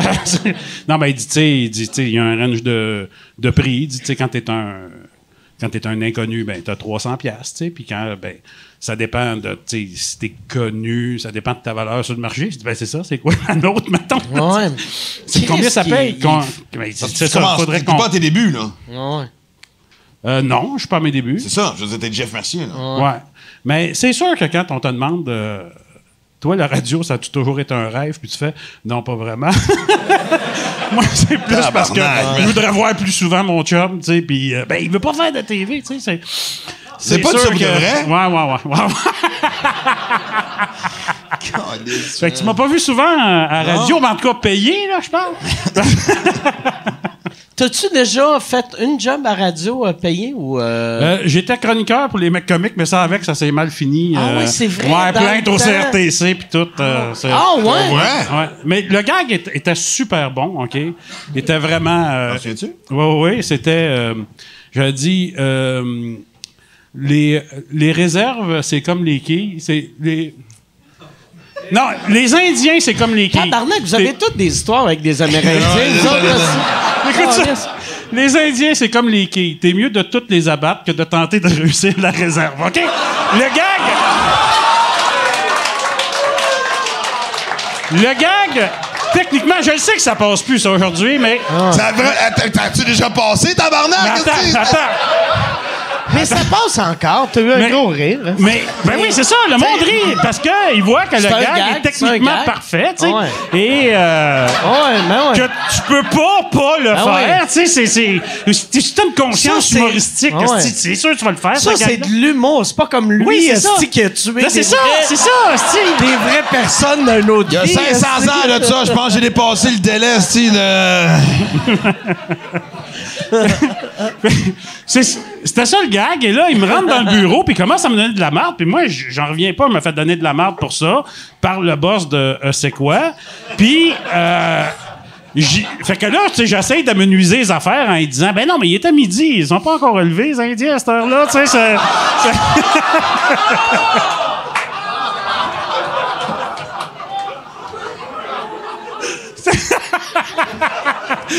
Et, et il rit pas, tu sais, il rit pas, tu sais, c'est un gars qui a pas d'humour, tu sais, qui a pas de... Mais pour moi, c'était clair que c'était un gag. Et sérieusement, il y avait zéro euh, méchanceté là-dedans. Mais euh, ça a été ma dernière euh, chronique avec des mecs comiques euh, à la radio. Fait que, ouais, c'est ça. Et ce gag-là, je l'ai ramené. Je m'étais donné ça comme défi Comme défi. personnel. Je l'ai ramené aux Oliviers. Hein, oui, j'ai. Mais check bien. Me souviens pas de ça, moi, Chris! Check bien à twist. J'avais, j'avais dit, j'avais fini le numéro avec ça. C'était une présentation. J'avais fini le numéro en disant, et comme disait Descartes, les Indiens, c'est comme les quilles. On est mieux de toutes les abattre que de tenter de réussir la réserve. Qui va contredire René Descartes? Hein? Gros rire dans l'assistance. Je n'ai jamais entendu parler. Pas vrai? C'est un gag Ce gag-là, il était trop élevé pour la radio, mais il était bien correct être- les Oliviers. Ça doit être un des rares gags euh, radiophoniques des mecs comiques qui s'est ramassé d'un gala des Oliviers. Mais tu, tu n'avais fait euh, les, les chroniques, euh, c'était-tu genre ta deuxième, troisième ou huitième chronique ou tu n'as-tu fait pas mal ou euh, Je n'avais fait, euh, je pense, trois ou quatre. OK, Ouais, c'est pas long. hein? fait, euh, ouais, non, c'est ça. J'ai eu mon thème, puis euh, je venais de me faire flusher. Mais moi, j'ai toujours trouvé ça, ben, pas particulier, mais ton association avec les mecs comiques, c'était quoi le. ben, il me payait. Ouais? C'est. Ça se résume-tu à ça, tu sais? ou, euh? Ben, Mais c'est parce euh, moment donné, quand tu commences à travailler avec quelqu'un, c'est parce qu'il y, a une- il y a une connexion quelque part. tu sais. Ouais, ouais, C'est ben oui, vous mais tout à tellement dans des styles différents. tu sais. Tout à fait, mais tu sais, euh, Avoir était script éditeur là-dessus. Euh, moi, je m'entendais super bien avec les mecs comiques. Tu sais, j'ai fait euh, sous-écoute avec euh, Jeff Barry. Euh, tu sais, Louis Morissette, je sais pas si tu, si tu le connais, mais tu sais, c'est vraiment une bonne tête, là. Tu sais, je veux dire, c'est vraiment euh, Alex aussi. Tu sais, je m'entendais super bien avec. Tu sais, puis, ben, tu sais, quand t'es writer, t'es un, t'es un mercenaire, là. T'écris pas nécessairement euh, pour toi, mais tu vois, trois fois rien aussi, j'étais là, puis tu sais, tu vois, j'étais bien content, là. Ouais. Fait que, c'est- ouais, c'est ça. Puis y avait-tu ton tu sais, Mike a écrit pour euh, Ouais. d'autres humoristes Ouais. des numéros que ça, ça t'a jamais dérangé de donner des super bons gags parce que c'était pas Mm. dans ton style? Moi, je savais pas ça que t'avais écrit pour d'autres. Bon, ouais, Chris, euh, fait des super le, le Le numéro sketch? que t'as fait Ouais, ouais. avec euh, Louis-José Hood, c'est pas Ça, qu'il je le sais, écrit. mais ça, c'est un sketch. Oui, mais tu l'avais écrit. Attends, calmez-vous. Tabarnak! Calice! Non, attends une minute. Attends une minute. Non, non. Le premier blackout coquet que je connais. Lui, il fait des white L'histoire, l'histoire, c'est que euh, ils ils refont tolérance euh, zone interdite, un, un concept que moi et Martin Petit on avait fait à Juste pour eux. On fait le concept. euh, c'est moi qui étais le metteur en scène et le pire metteur en scène au monde. Et et t'avais écrit ça pour zone interdite. Oui, Exact. exact. Tu l'avais fait avec les boys. Puis je partais en tournée un an plus tard. Puis je manquais de stock à un moment donné. Mais j'ai- en plus, j'étais en duo avec Richard d'Anjou. Puis j'avais mis comme des tunes. Puis des, je voulais justement faire des sketchs. Puis tu m'avais dit, prends-les. Il dit, pars avec ça, tu sais. Puis c'est ça. Fait que. euh, mais ouais, t'as vu ça, je m'en allais avec ça. Mais tu veux dire écrire, et- tu sais, fait que tu l'avais Ouais. déjà Non, fait toi, mais- t'as déjà écrit, écrit pour d'autres mondes, genre le numéro pour, que- euh, Patrick Huard, a fait J'ai des écrit, gros hits. ouais, euh, ouais, j'ai- Mais pas, pas longtemps, tu sais. pas Non, Pas récemment, là. Mais Non, non, les chips, euh, euh, les femmes ordinaires, Les, les la femme numéros des femmes ordinaires, c'était moi, ouais. Pour mais, vrai? Ouais. Ok, ça mais, va dans euh, loin quand même, là. Ouais, non, mais j'ai C'est jamais... la dernière fois, c'est quoi le dernier numéro que t'as écrit pour quelqu'un? Euh, j'ai écrit. Euh, là, ça va sonner euh, name drop euh, euh, brag. Euh, j'ai écrit pour euh, Jimmy Carr euh, pour euh, le roast, le roast à, à Rob Lowe. Hein? C'est donc bien ça. Ouais, il y a genre deux ans. Mais sinon, avant ça, ça faisait longtemps que j'avais pas écrit. T'avais-tu écrit pour euh, Anthony? Euh, j'ai écrit pour Anthony dans le temps, dans le temps, puis là, ça s'est bien réglé. Ben, réglé. Non, parce Anthony. Ah, An- euh, non, non, c'est une- que c'est qu'Anthony, Anthony dans le temps. le monde rit, tabarnak, comme si au courant de quelque non, chose. c'est hostie. que j'a- j'avais écrit, j'avais écrit une coupe de numéros pour Anthony. Puis après, quand il est parti en France, il a, il a ramené une coupe de gags puis une de- dans ses affaires en France, puis sans m'avertir. Puis là, un moment donné, moi, j'étais comme, voyons, tabarnak. Donc, ça- sans payer Ouais, aussi, sans ça, payer. Mais euh, puis après, quand, quand il, a, il a appris, euh, 22 ans plus tard, là, il, il m'a appelé, puis il a, il a dit, excuse, euh, là, il voulait me payer, mais j'étais comme, un, je savais pas comment ça valait, puis tu sais, deux, je savais même plus quel joke j'avais écrit, tu sais. Fait un chèque? Non, mais il m'a offert, il a dit comment tu veux, tu sais. Puis là, j'ai fait, regarde, dans- prochain sans-abri, tu vois, donne-y 100 pièces, puis faisais à croire t'es Mike Ward. Je trouvais ça drôle. C'est drôle en tabarnak. mais, euh, ouais, c'est- Anthony, euh, ouais, ça. Mais j'ai j'ai jamais écrit longtemps. Moi, je suis bon en brainstorm. Puis après, un coup que je m'en vais chez nous écrire, je suis bon les deux premiers jours, puis après, je perds de l'intérêt. Moi, je l'ai fait une fois. Moi, j'ai écrit le premier numéro de Jean-Michel Anctil euh, du Gossou. OK? Puis je me souviens, il y avait eu un standing ovation au, euh, au Gala Juste pour rire avec ce numéro-là. Je l'avais écrit à, mettons, 85 là. Jean-Michel avait quand même acheté des gags, mais pas, le, gros, le gros du numéro, c'était moi. Puis, tu sais, Jean-Michel était comme, tu sais, euh, quoi? C'est en quelle année, ça? C'est son premier show, fait qu'on parle de quoi? On parle 95? de 98, que- non, attends. Ah, 95, 95, OK. t'as raison. Fait que t'étais connu du milieu. J'étais connu, mais tu sais, pas encore dans, dans Ouais. mon envol, tu sais, puis... Fait que j'ai... Puis moi, les gars-là, j'haïssais ça parce que t'en souviens comment c'était tough, les gars-là? Si c'était pas, si c'était pas justement un peu plus middle of the road, comme, tu sais. Mascotte, puis Morancy, justement, puis cette gang-là, que les autres passaient comme une tonne de briques. Moi, vraiment que t'étais osé, c'était des silences, esti, j'haïssais ça. Puis, fait que je regarde, je regarde faire son numéro, il y a un standing ovation avec quelque chose que j'ai écrit, j'ai fait tabarnak. Ça fait vraiment chier. J'étais content pour Jean-Michel, mais ça me mettait en tabarnak. J'ai plus jamais écrit pour personne. Il est peut-être juste meilleur que toi sur un stage. Peut-être aussi. c'est- Peut-être aussi. Mais ça, ça m'a, ça m'a marqué, tu sais, quand j'ai regardé le numéro de la couille, parce que c'est un numéro classique, là. Tu sais, on s'entend, mettons, si on avait une liste des numéros qui ont marqué le Québec, c'est facilement dans le top 10. Puis, ce qui m'a marqué quand t'es allé, tu sais, y a- tu sais, dans les gars-là, ils font, mesdames et messieurs, c'était Maxime Martin. T'es revenu, t'as pas eu de standing. Puis j'étais comme, voyons, tabarnak. Tu sais, c'est un Mais les gens étaient. Ouais, mais ça, moi, la- la- Un qui numéro m'énerve de 20 ce numéro-là, c'est. dû remettre tes culottes. Ouais. mais, tu sais, je pouvais pas, le- je pouvais pas le roder. Puis moi, je suis pas bon. Moi, je suis pas bon pour apprendre des textes. Je finis par apprendre mes textes pour un show à force de le faire devant le public. Moi, marcher chez nous, j'ai de la misère, tu sais. Puis, je veux pas le roder. Fait que j'ai manqué énormément. Quand tu regardes la, la version non, euh, non montée, il y a de Ah, long- c'est pas tête? C'est pas tête, pas en tout OK. c'est gag, rire. Ouf, sais, je prends quasiment. Je sais, moi, tout le long que j'étais là, je savais, je le connaissais, je la connaissais à la fin, je savais comment. Puis c'était même pas la, la nervosité de me sortir une couille autant que le côté technique de Chris. ah. Je te jure, j'ai- c'est que ça va paraître niaiseux. Attends, attends une minute. Ah. D'un coup, puis c'était un speedo. C'est la seule fois de ma vie que je porte un speedo. Mais D'un coup que ma graine sort. Non, c'est même pas ça. tu- non, non, de coup, que la, tu sais, des fois, les couilles te rentrent. Tu sais, il fallait que je la sorte d'une shot. Ah. Je pouvais pas commencer à fouiller. Bon, hey, où, Steve? Tu sais, les gars. Fait que le numéro manquait de rythme, puis euh, j'aurais aimé ça, tu sais, si, j'avais pu, puis j'étais nerveux comme le Chris. Parce que, tu sais, euh, oui, puis en Fait plus, je me souviens... techniquement, t'aurais été mieux de te sortir la graine. Retenant, regarde.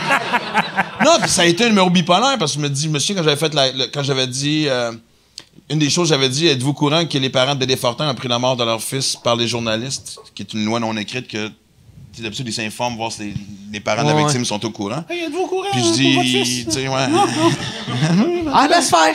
Puis euh,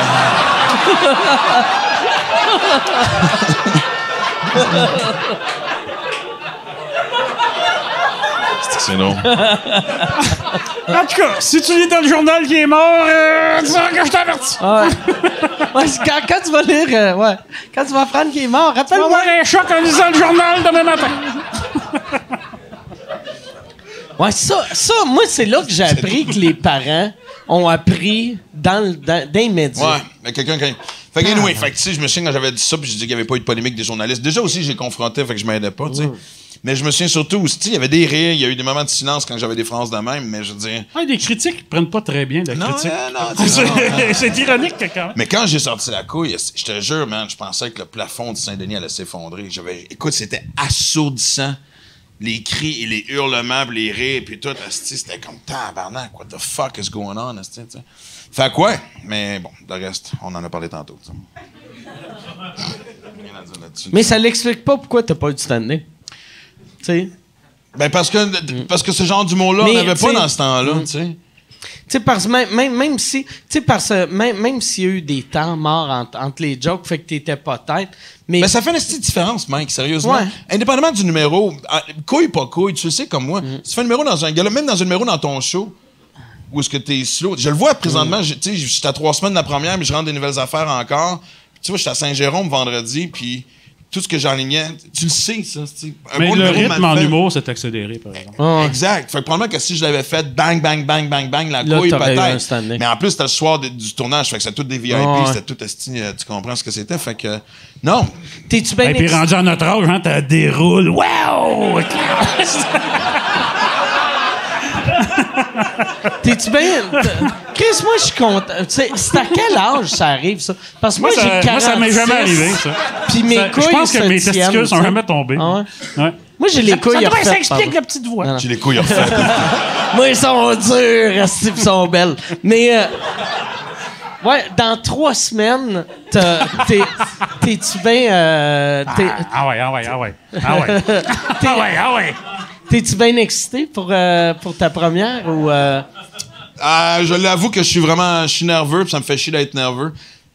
Tu sais, c'est, tu tu drôle parce que tu tu m'as fait une vidéo de bonne fête il y a pas longtemps, puis tu tu me rappelles toujours ce que, ce que tu m'avais déjà dit.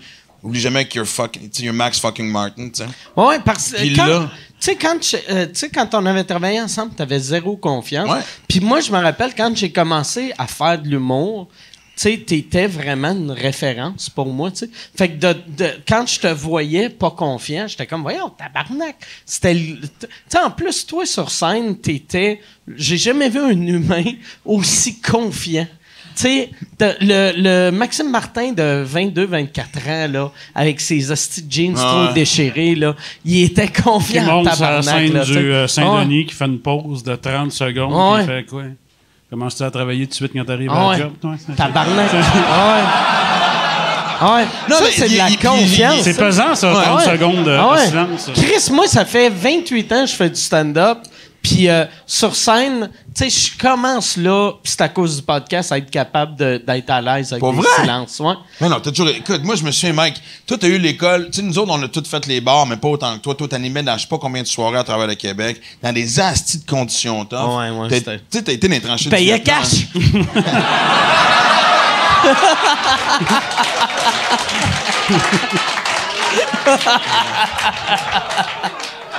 Moi, c'est peut-être parce que ma blonde euh, se ferme jamais à gueule, mais je suis de plus en plus à l'aise avec les silences. moi aussi.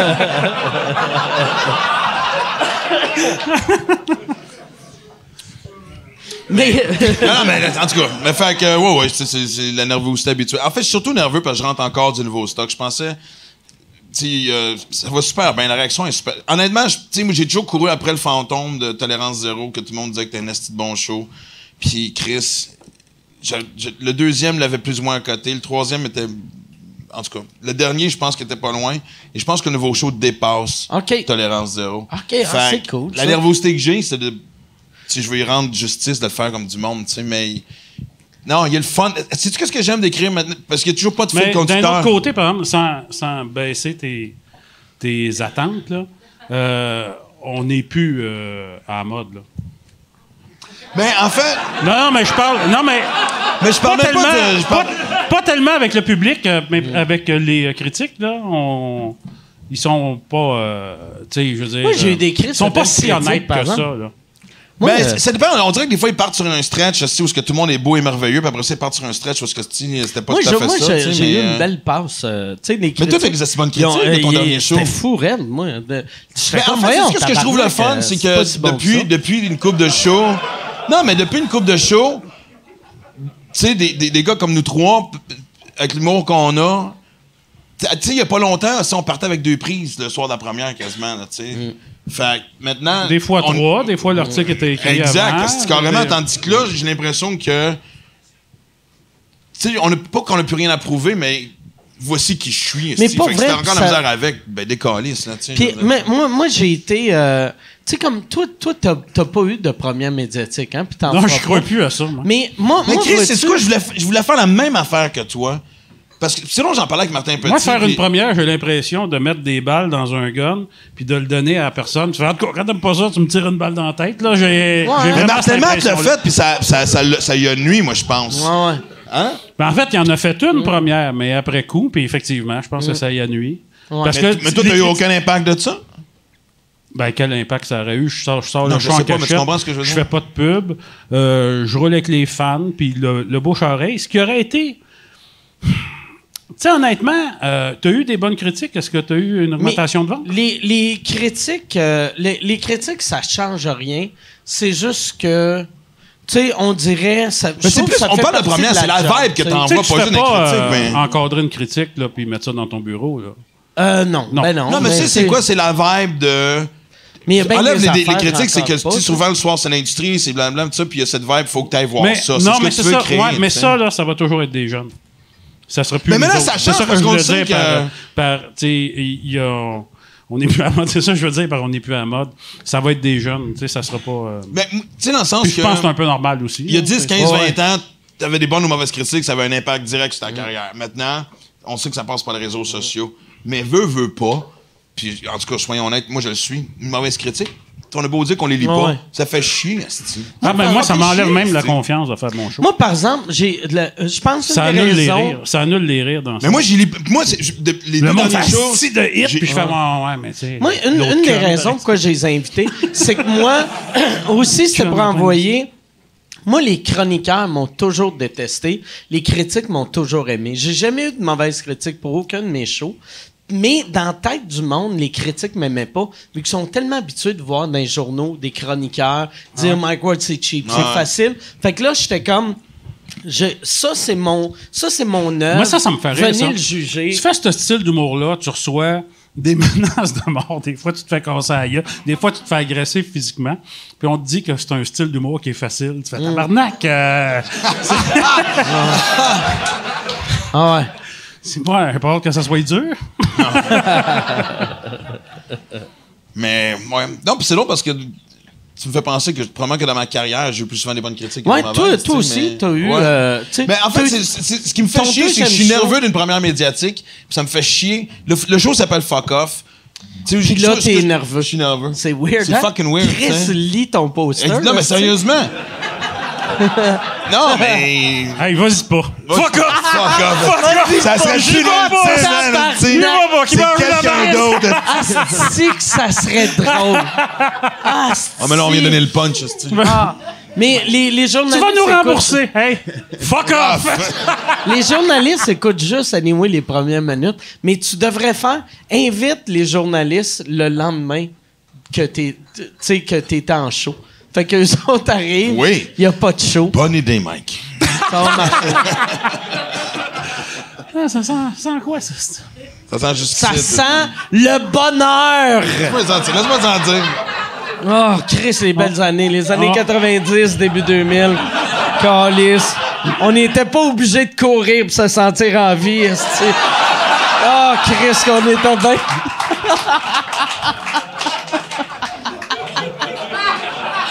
Mais ça, moi, honnêtement, par exemple, c'est, c'est une affaire que je suis euh, jaloux, ça. Quoi, tu sais, quand quelqu'un. Moi aussi, je suis en train de me dire, je peux pas croire que je dis ça, mais là, ça fait longtemps, puis tu- le monde écoute jamais ça jusqu'au bout. C'est pas de ça. Ouais, moi, j'ai manqué de timing. Mais le monde, tu sais, qui, qui arrête de boire ou qui arrête de se geler, tu sais, il lui donne euh, des médailles puis tout, puis tu fais, moi qui ai toujours tout fait parfait, tabarnak, j'en ai pas de médaille, calice, esti! J'ai pas fait chier ma famille, j'ai pas abandonné personne, esti, j'ai pas... J'ai pas abandonné personne! Qu'est-ce que t'en sais, calice? T'étais même pas conscient, esti! À un moment donné, je fréquentais une fille qui était tra- tra- travailleuse sociale, puis avait fait... euh. On se demandait c'était quoi sa job.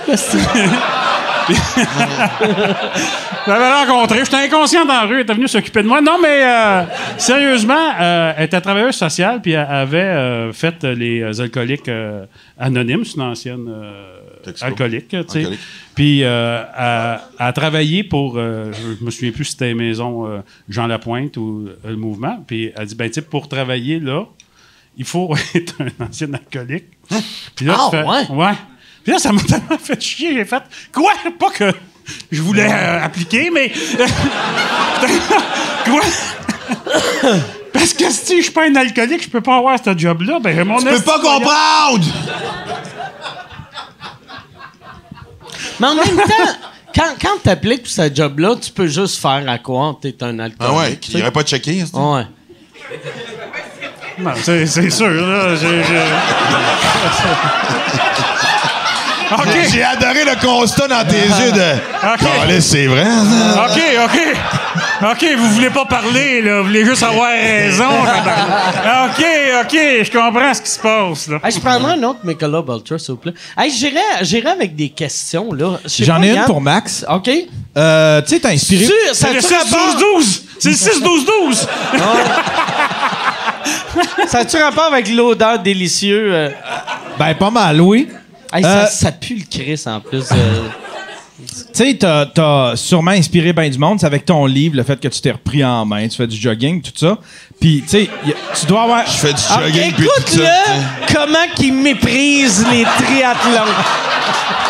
Un hostie de gros Chris de chubby Yann avec ses foulards sur la tête. Il est même pas capable de monter des marches, puis il appelle ça ton jogging. Je veux juste raconter de quoi avant que tu. tu, tu.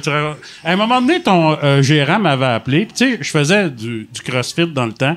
Puis euh, Michel, Michel, il dit J'aimerais ça organiser un tournoi entre des trois humoristes qui font du CrossFit, Maxime Martin, Mario Tessier, puis toi. J'ai fait Moi, je lui dis Je fais du CrossFit, mais tabarnak. Je suis essoufflé dans un gymnase avec du monde qui font du CrossFit. Là, tu sais, c'est pas. euh, Fait que la compétition n'a pas eu lieu. Ça me dit quelque chose, c'est Chris. Euh, ma question, c'était. euh, Maintenant que tu soulignes ta condescendance. Ben là, le temps est passé, là. Ouais, ça le timing n'est plus là. non, mais il y a- il y a- il doit y avoir pas mal de, de monde qui viennent t'approcher avec leur histoire. Tu dois inspirer du monde, tu sais. Mais ça, ça, ça devient-tu lourd ou tu n'as peut-être pas non plus? là? ça doit être lourd. Non, mais pas tant que ça. Mais en fait, non, c'est du quoi, c'est plus. Tu sais, parce que maintenant que je fais des Ironman, il faut juste du jogging. Euh... Fallait que je le plug, est-ce que- Non, joke à part, moi, j'aime beaucoup cette communauté-là parce que ce que j'ai remarqué dans tout ce qui est marathon, triathlon, Ironman, c'est que mon histoire est une parmi tant d'autres. Il y a des survivants de cancer. Fait que trou- j'ai trouvé ma fuite parce que oui, donné, c'était lourd. J'ai encore des messages de mon livre, puis je peux pas dire que je suis pas fier d'avoir aidé du monde, mais on en parle encore, puis des fois j'ai envie de faire, on passe à d'autres choses aussi. tu sais. Je veux dire, ça fait quand même 10 ans. Là, fait juste- Moi, ceux qui ont fait l'université de la vie, là, euh, c'est. je- Non, mais. Sérieusement, ils ont l'impression qu'ils sont diplômés, qu'on lit ça se puis que. Ça, ils mettent quasiment dans le CV, ils t'en parlent, là. Moi, tabarnak, qu'est-ce que j'ai vécu, pis t'es là, t'as à boire, si. On parle toujours de ce gelé, là, si. C'est plus un DEP de la vie. On va se dire les vraies affaires, là. un, un professionnel court de la, de la vie. J'ai une question pour JF. Euh, quel handicap ou condition a été le plus difficile à faire des jokes pour l'émission Rire sans tabou? Euh, on parle de l'émission sur les handicaps physiques euh, seulement? Non, ou- euh, et- il voulait dire quel épisode, quel épisode qui a été le plus tough à écrire ou quel, quel groupe ciblé a moins ri? Euh, ben, à ma grande surprise, le monde était assez facile euh, à faire. Euh, je vais répéter ce que j'ai dit en, en entrevue. Euh, le monde qui vit une problématique taboue, ils ont de l'humour, ils ont pas le choix par survie. Euh, Fait qu'eux autres sont prêts à rire. Ce qu'ils aiment pas, c'est pas de rire, c'est de se faire tasser, de se faire ostraciser, de se faire mépriser. Ça, ils aiment pas ça. Mais rire, euh, bizarrement aussi, tu sais, puis je suis sûr que vous l'avez remarqué, quand on fait une joke sur des gens qui vivent quelque chose, c'est rarement les gens concernés directement Ouais, qui sont choqués. C'est souvent l'entourage Exact. non, exact. Moi, je me souviens de faire des gags, justement. Mais toi, ton exemple d'handicapé, je me souviens aussi, un moment j'avais une gag d'handicapé quand, justement, des gags d'alcoolisme, puis les alcooliques riaient en tabarnak parce qu'ils se reconnaissaient, puis les gens, comment tu peux dire ça? Tu le sais pas, ta gueule, t'en es pas un, tabarnak, esti, tu sais. Les gens qui étaient outrés, esti, justement, on revient sur l'affaire de Trudeau, esti. T'es-tu noir? Ben, ta gueule, ferme ta gueule, t'es pas concerné, esti, Chris, esti, tu sais. Fait que je sais pas quoi, quoi répondre euh, à la question, Yann. Bien agressif, que- lui, pour un gars jeune. esti. Ah, non. Ah, C'est un conquistador, tabarnak! ah. C'est un angry sober. Angry Summer. Tu sais, il n'y a aucun gars que j'ai trouvé si dur que ça. Et la raison, c'est parce qu'il y a eu du montage. Fait je savais qu'il y avait un filet. Tu sais, si jamais je faisais un fret, si jamais je créerais que c'est ça qu'ils vont garder au Que- montage. C'est qui? euh, T'écrivais-tu ça euh, tout seul ou t'avais un writer? J'avais un writer qui C'est qui Stéphane Aubry. OK. Tu, tu le connaissais-tu avant? Euh, ou, Non, non, j'ai euh, ben je euh, non, je le connaissais avant. Mais t'avais Euh, jamais il- travaillé Je l'avais avec. croisé au squelette euh, dans le placard. OK. Euh, Ah, mais- Chris, je vois c'est qui, ouais, ouais. Ouais, ouais. Euh, un super bon Jack. On a eu euh, quand même une adaptation, là, tu sais, dans le sens que euh, lui, je pense, il y avait, il y avait ordre par le réseau de me ramener dans le droit chemin. tu sais. OK. Euh, Puis moi, ben, j'avais comme le goût d'aller, euh, tu sais, ça ben s'appelle rire sans tabou, tabarnak, qu'est-ce que c'est, tu sais, je- Fait que, euh, c'est c'est ça. Fait qu'on a eu une adaptation, mais. euh, En plus, ça, heure, ils, ils ont été cool, euh, par exemple, la production. Ils m'ont donné beaucoup de liberté. Puis des fois, euh, je sentais qu'ils se faisaient violence aussi, là, qui disaient Ben, OK, si tu penses que c'est ça, on va. Mais ils ont, ils ont comme pas le choix avec le web, euh, tu sais, si- s'ils vivent dans, dans leur vieille manière de penser, d'essayer de tout, tout, tout euh, censurer, gérer, ils peuvent pas Mais compétitionner. Moi, j'avais eu, euh, je sais pas si c'était au courant, mais j'avais eu un peu de, de misère, un peu à cause de toi. Dans- mais, euh, tu sais, Chris, ça me rend heureux. Mais, oui, mais. Je, ben, tu sais, à, à, à Rose Battle, tu sais, Ouais, ouais. toi, t'aimes pas ben, ben ça, de faire couper tes euh, affaires quand tu Ouais, sais que c'est drôle, puis qu'on t'écoute pour d'autres raisons, tu sais. Euh, je pense qu'il y avait eu un, un time avec toi, puis euh, C'est que moi aussi, par quand je exemple. parlais du meeting d'écriture, là, tu sais, je me faisais souvent dire. Euh, Là, on vous connaît les humoristes, vous voulez rien changer, puis tout, puis tu sais, à un moment Là, donné. tu parles fais- d'humour sans tabou, là. Ouais. Puis à un moment donné, tu fais. tu parles-tu de Mike Ward? Mais c'est que, c'est que moi, moi, à, moi, à cette heure, tu sais. Et, moi, quand on a vidé cette question-là, honnêtement, j'ai été Uh-huh. engagé. Mais C'est, c'est, j'ai fait- pas Mike. fait- ben, en fait, je lui ai dit, Mike, de son propre aveu, il veut plus faire de Ben TV. non, Chris, je dit, moi, je tuerais ma mère pour revenir à la TV. Ouais. Fait qu'on Ah, s'entend-tu qu'on est peut-être pas à la même place? Ouais. Je reste de te faire moins chier. Ah, mais tu sais, moi, moi c'est que pour, pour le monde de la télé, je suis le pire genre de personne à engager parce que moi, j'ai trouvé une façon de faire de l'argent sur le web. Fait que pourquoi j'irais à la télé quand je, fais, je peux faire plus de cash sur le web et avoir une vraie Ben, liberté? parce tu sais? que tu peux pas faire une émission comme Rire sans tabou sur le web. Tu pourrais. C'est encore drôle. Pourquoi Ben tu là, pourrais tu, pas? vas te- tu, vas, tu vas payer, tu vas louer un chalet, tu vas louer. euh, Pourquoi tu, pas? Tu vas, tu vas engager un réalisateur, tu vas te produire toi-même, puis tu n'auras pas de calice de revenus qui va rentrer? Ben non, tu vas avoir des revenus qui rentrent. Il va falloir t'aller faire une déclaration volontaire euh, au ministère du non, Revenu. non, mais tu- sais- moi, moi, avec sous-écoute, j'en paye des impôts, tu sais, puis je génère, génère des Mais revenus. dis-moi, c'est ce que j'aime que tu. Puis t'es le premier à. Tu sais, puis honnêtement, on en parlait tantôt. Ça, c'est vraiment la, la réussite québécoise du Ça, web. c'est- mais t'es un des futur, rares. Mais t'es pas mal le- seul parmi nous qui pourrait de vivre de, ça. Oui. ouais, ouais. Mais c'est pas encore là parce que. Tu en fait, ce que j'aime. Tu sais, moi, je me suis toujours dit que. la- la- le- j'ai pas encore atteint ça, cette espèce de liberté financière où est-ce que tu dis, OK, je peux arrêter de travailler. Genre, tu sais, il faut que je travaille euh, pendant encore un bout, mais. L'affaire de dire. Tu sais, la vraie liberté, c'est de dire non, ouais. C'est le même. Si tu veux pas me prendre de Mm. même, fuck off. esti, tu sais. Moi, j'avais une chaîne YouTube, puis j'ai jamais voulu être payé de ça. Puis à un moment donné, euh, tu sais, ça, ça marchait, là, tu sais. Ouais, j'ai- ouais. Euh, puis je regarde du monde qui sont des influenceurs qui ont pas tant de reach que ça. Puis je fais, ah oui, est-ce qu'ils vivent avec ça, eux autres? Euh, Ouais. Tu sais, c'est quand... Euh, je me serais pas trouvé correct d'être payé pour faire des niaiseries, puis ça m'aurait mis une pression que je voulais pas. Mais tu sais, en même temps, tu fais. Tu tu sais, de faire des niaiseries sur scène ou à télé ou sur le web, tu sais, tu refuses pas d'être payé quand tu fais des shows. Non. Pourquoi tu refuserais sur le web? Ben, c'est parce que je trouvais que c'était con, tu sais, c'était improvisé, c'était, tu sais, euh, c'est ça, c'était- plus ou moins En écrit. même temps, tu en es bien servi, toi. Tu sais, honnêtement, vous êtes deux bons exemples de, de- de pour qui le web a fucking fonctionné. Là, tu sais. Toi, c'est débile. Vois-tu, moi- moi- Toi, je me souviens, moi, je me souviens quand t'as eu la, fa- le, le fameux.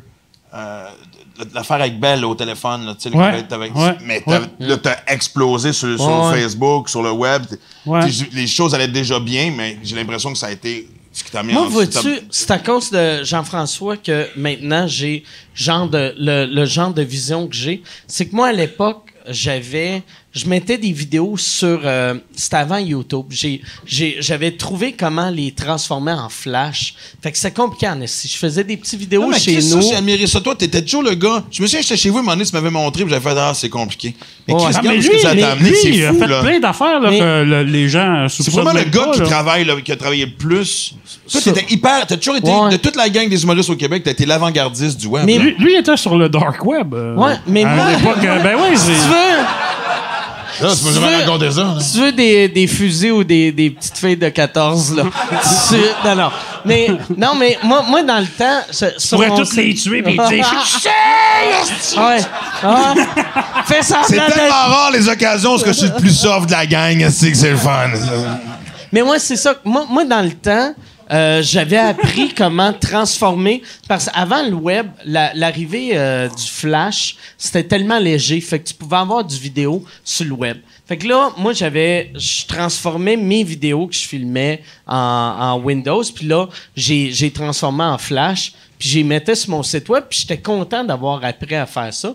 Puis là, YouTube est Ah Oui, c'est arrivé. vrai, les flash players dans le Ouais. temps. ouais. Il y a- fait que j'avais j'avais mon petit flash player, que puis là là Windows est- euh, euh, YouTube est arrivé. Puis là toi tu mettais des vidéos euh, sur Win- euh, sur YouTube, t'étais pas connu, moi j'étais connu, puis j'étais comme non non, moi asti je donnerais pas mes vidéos à YouTube, tabarnak, je suis connu, asti le monde va venir sur micword.ca, mais après, tu sais Personne venait sur micword.ca, tout le monde est allé sur YouTube. Mais ton là- contenu sur MikeWard.ca était plus recherché aussi que ce que le n'importe quoi que je faisais ouais, sur YouTube. non mais c'est que moi moi je- on Je prenais dirait- des, des messages que le monde m'envoyait, puis je lui répondais euh, Chris Ouais, de ouais. style sans dessin, Ouais. puis je sacrais comme j'avais appris à faire sur le Mike Ward Show.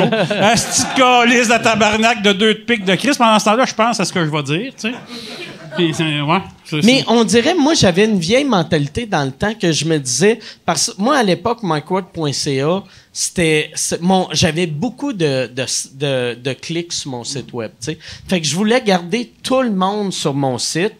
Puis là, tout le monde allait vers YouTube. Puis au lieu de faire, je vais aller sur YouTube, puis on s'en que, euh, tu sais, d'avoir euh, un million de views sur micworld.ca, t'es mieux, si le monde sont sur YouTube, va sur YouTube.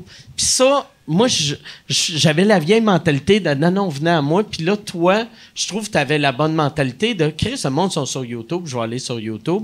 Et là, j'ai vraiment senti comme je m'étais fait oublier. Tu sais, j'ai, j'ai l'impression Ah ouais, que... pour vrai? Ouais, ouais, j'ai vraiment l'impression que, tu sais, moi, je faisais mes petites vidéos, puis là, j'entendais parler de tes vidéos, puis moi, moi, j'étais comme, Chris, personne vient voir mes vidéos, mais ils venaient pas voir mes vidéos, vu que c'était compliqué au bout à voir.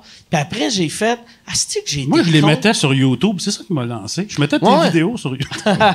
Mais, mais j'ai fait, ah, c'est que je cave. Prochaine fois que j'ai de quoi, je vais le mettre, que ça soit accessible. Tu puis là, à cette heure, tu sais, je m'en crie, ça soit.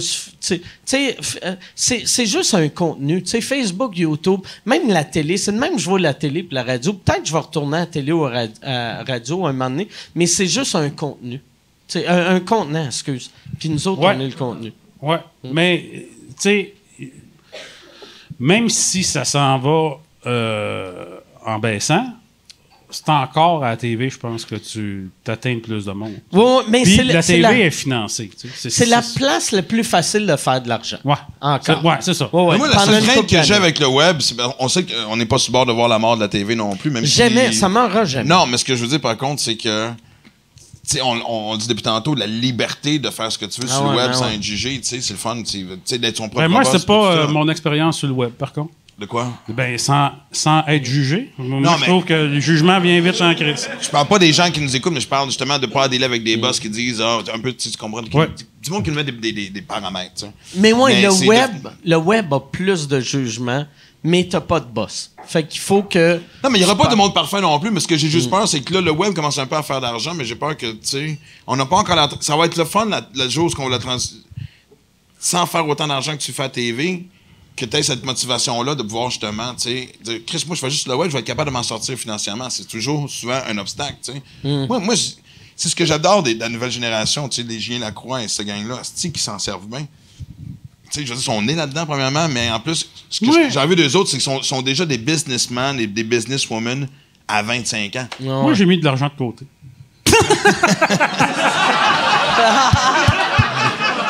Bien. Parce que j'avais un compte de banque. Moi, Ah, j'avais un finance. trou dans une de mes poches. puis- Première faillite, un trou dans la poche. Hey, Yann, y a-tu d'autres questions? Euh, Il y en a une que j'aime bien. Euh, c'est c'est Jeff qui demande euh, Est-ce que vous avez déjà pris en note un bon gag qu'un heckler vous a lancé? Ou y a-tu déjà une C'est sûr situation? que non. esti. Non, mais peut-être pas. Ou C'est peut-être qui, même. quel esti Mais d'humoriste bas de Jamais, gamme? jamais un, des- heckler te lance un si bon gag que Mais ça non. non plus. là. De toute façon, Parce que souvent, le, ouais, c'est, c'est. Ah, la petite grosse queue! C'est pas mal ça, là, un là, tu sais. Là, tu sais, OK, rappelle-toi, esti grosse queue. Grosse queue. Mais sans, là. sans du heckling, moi, il y a- il y a- tu vois, quand j'ai commencé le rodage de ce show-là, je me souviens, j'étais sur la rive Des sud. fois, il y a du monde, tu leur poses une question, répondre de quoi de drôle, tu fais Ah ouais, c'est cool. ça. Non, ben moi, c'est arrivé deux fois que les gens m'ont donné quelque chose. Je Chris, c'est non bien drôle ce que tu viens de dire, je le garde. Puis j- D'ailleurs, ils viennent à ma première parce que j'ai dit écris-moi sur Facebook, puis, euh, puis j'ai gardé le numéro. Puis même l'autre fois au 6-12-12. J'ai j'ai un gag à lequel que je- je- on parlait du sujet sans parler de mon gag, puis il y a un, un auditeur qui a écrit le- le wording parfait de ce que je voulais dire. Je fais tu me fucking niaises, esti. Il aussi est venu au show à Saint-Jérôme vendredi, parce que c'est une façon de, ma façon de dire voici un droit d'auteur. Fait que sans que ça soit du heckling, moi j'ai eu des suggestions qui m'ont qui m'ont profité euh, venant de. Ouais, moi, je pense que Bill Burr, dans son monde, dernier spécial, à un moment donné, il se fait. Ouais. Moi, je suis sûr que c'est stagé. Mais je suis sûr que c'est déjà arrivé en show.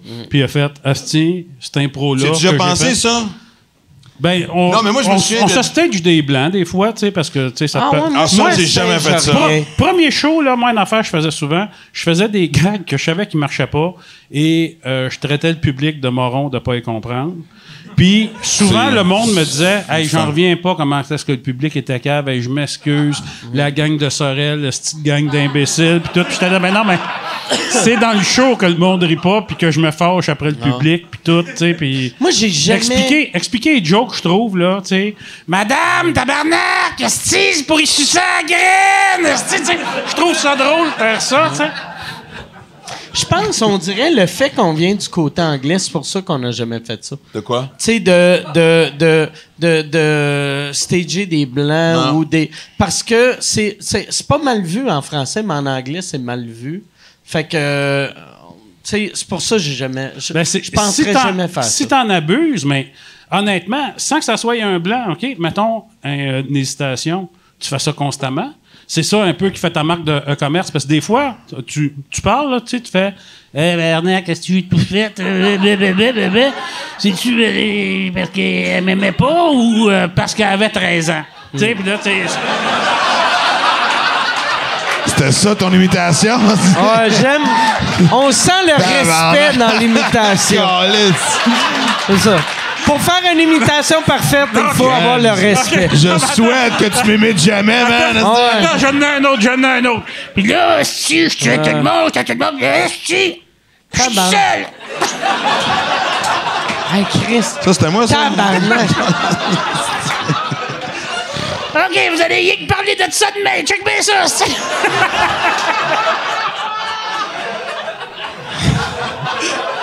bon. Calisse. La prochaine fois, je peux souvenir avec Jean-Thomas. Jobin. Je suis peut-être pas le plus talentueux des imitateurs.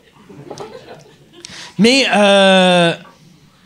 Euh. Ouais, mais. J'essaie de parler. Ça, c'est stagé, ça. Ouais, Ça, ça, c'est. Ça, Yann m'avait dit avant le show.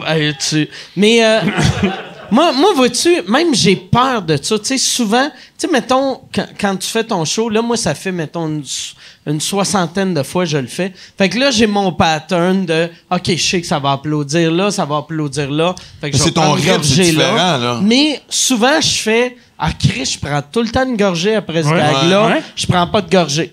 Tu sais, on dirait, je veux, je veux Ah non, me- non, moi j'ai. Ouais. je veux me surprendre, tu sais. Non, moi, il y a Je veux- même des. des- Je veux pas. Je veux me surprendre. Moi, souvent, Je pense pas que j'aurais soif là, mais tabarnak! je me crosse, me crosse avec la main gauche, je pars en dessous, l'impression que c'est quelqu'un d'autre, tabarnak. On est pareil.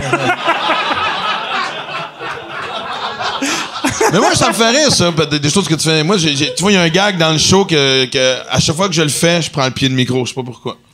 Ouais, moi j'aime. Quelque chose de ce type. Mais on dirait que ça me. Je me suis fait venir une pizza, je veux me surprendre. D'accord, liste des videurs, je- Mais on dirait j'aime pas ça. euh, je- C'est que j'ai l'impression si je fais tout le temps la même affaire, je suis comme le théâtre. Puis je veux pas être Ah, comme mais le on théâtre. est pas dans cette affaire-là. Tu veux certainement dire le théâtre. Mais je veux pas. je- moi, il y a rien que j'aille plus qu'un humoriste que tu vois que c'est tout le temps blablabla. Puis, tu sais, il est tout le temps à tel joke, il Non, non. regarde là. Tu sais, je veux pas. Ah, moi, je vois ça complètement différent de toi. Moi, je, je veux que mon show, ça soit comme Coca-Cola, que ça goûte la même affaire, pour Ah. pas que, mettons, les gens de cette île voient un asti de bon show, puis que les gens de Trois-Rivières, tu fais, ouais, c'était bof, là, ma, ma responsable demi-heure d'impro, tu sais, c'était...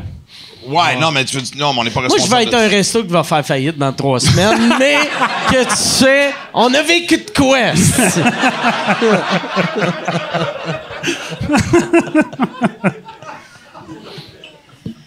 y a-tu y a-tu une autre question, Yann?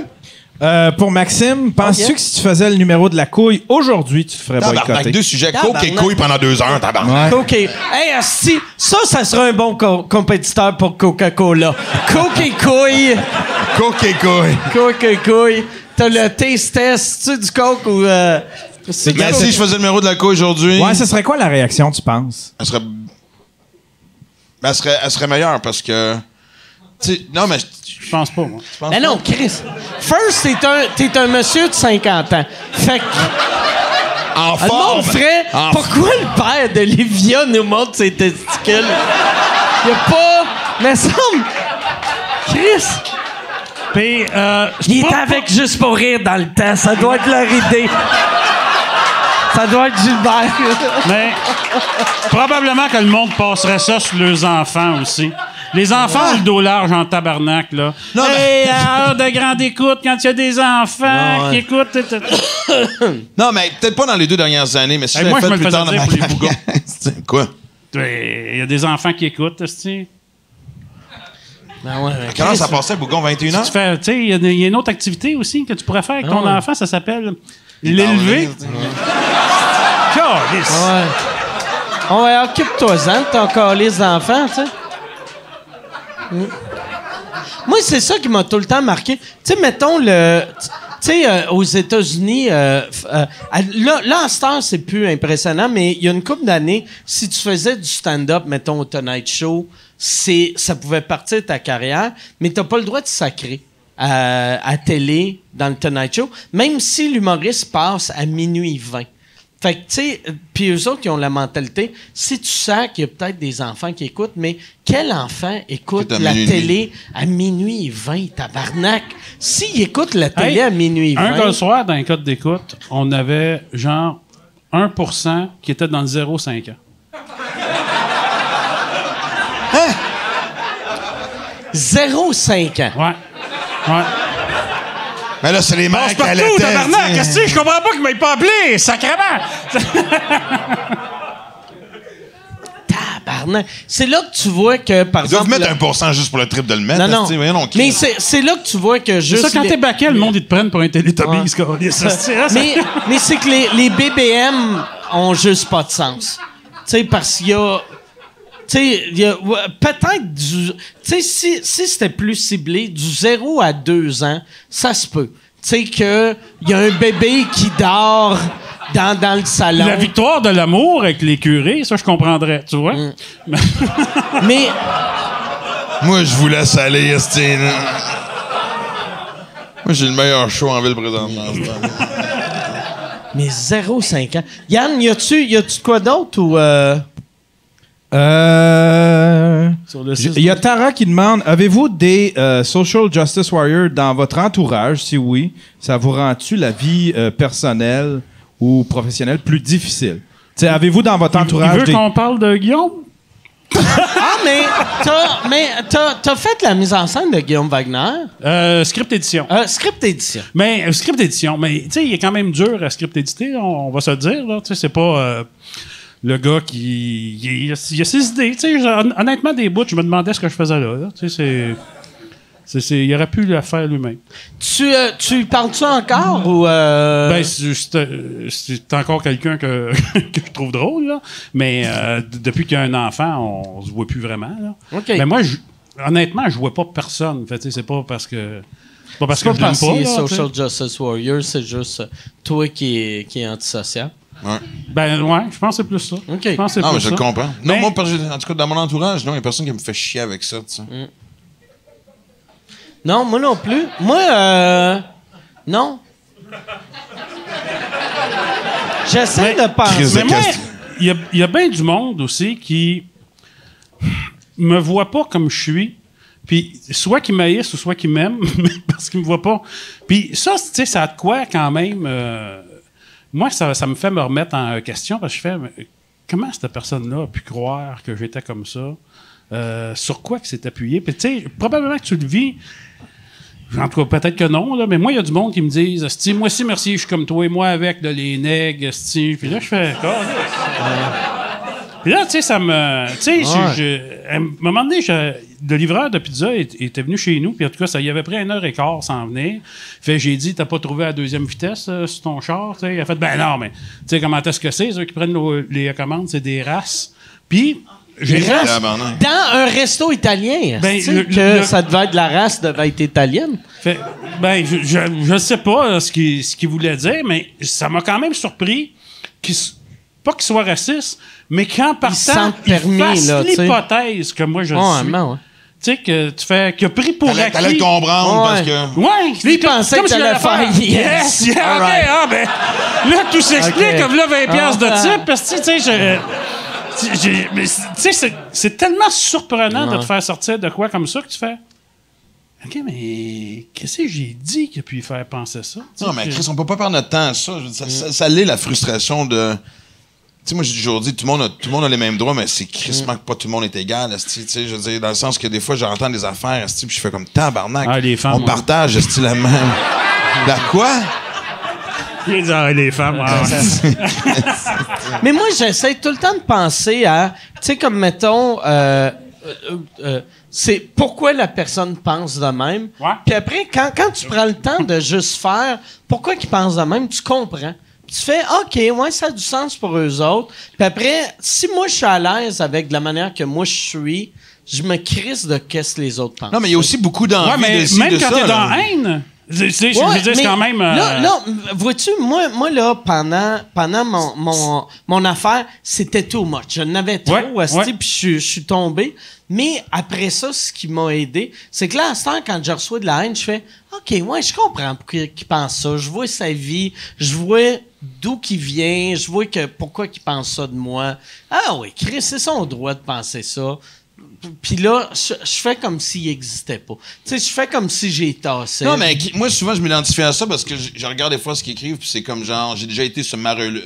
Je pense qu'il y a beaucoup d'envie aussi. Tu sais, ils vont attaquer souvent ton succès, puis tu sais, je pense que souvent, ça va juste représenter l'espèce de manque de, de, de motivation d'atteindre tes propres buts, tes propres rêves, tu sais, je veux dire. Moi, ironiquement, les gens qui me je disent. corrige les fautes d'orthographe. Pour vrai? Ouais, ouais, ouais, je, je fais. Hein, Caroline, ça, c'est. grand. Ah, non, euh, mon Dieu, pauvre gars. Tu vois, il est pas allé à l'école. euh, l'école française, c'était pas. Tu réponds-tu ou non? ben, euh, moi, j'ai enlevé les commentaires sur ma page OK. Facebook. Ouais, moi aussi. Euh, Ben, j'ai sauvé non, beaucoup de temps, j'ai récupéré beaucoup de temps. euh, T'as enlevé les messages privés, tu veux dire. Ouais.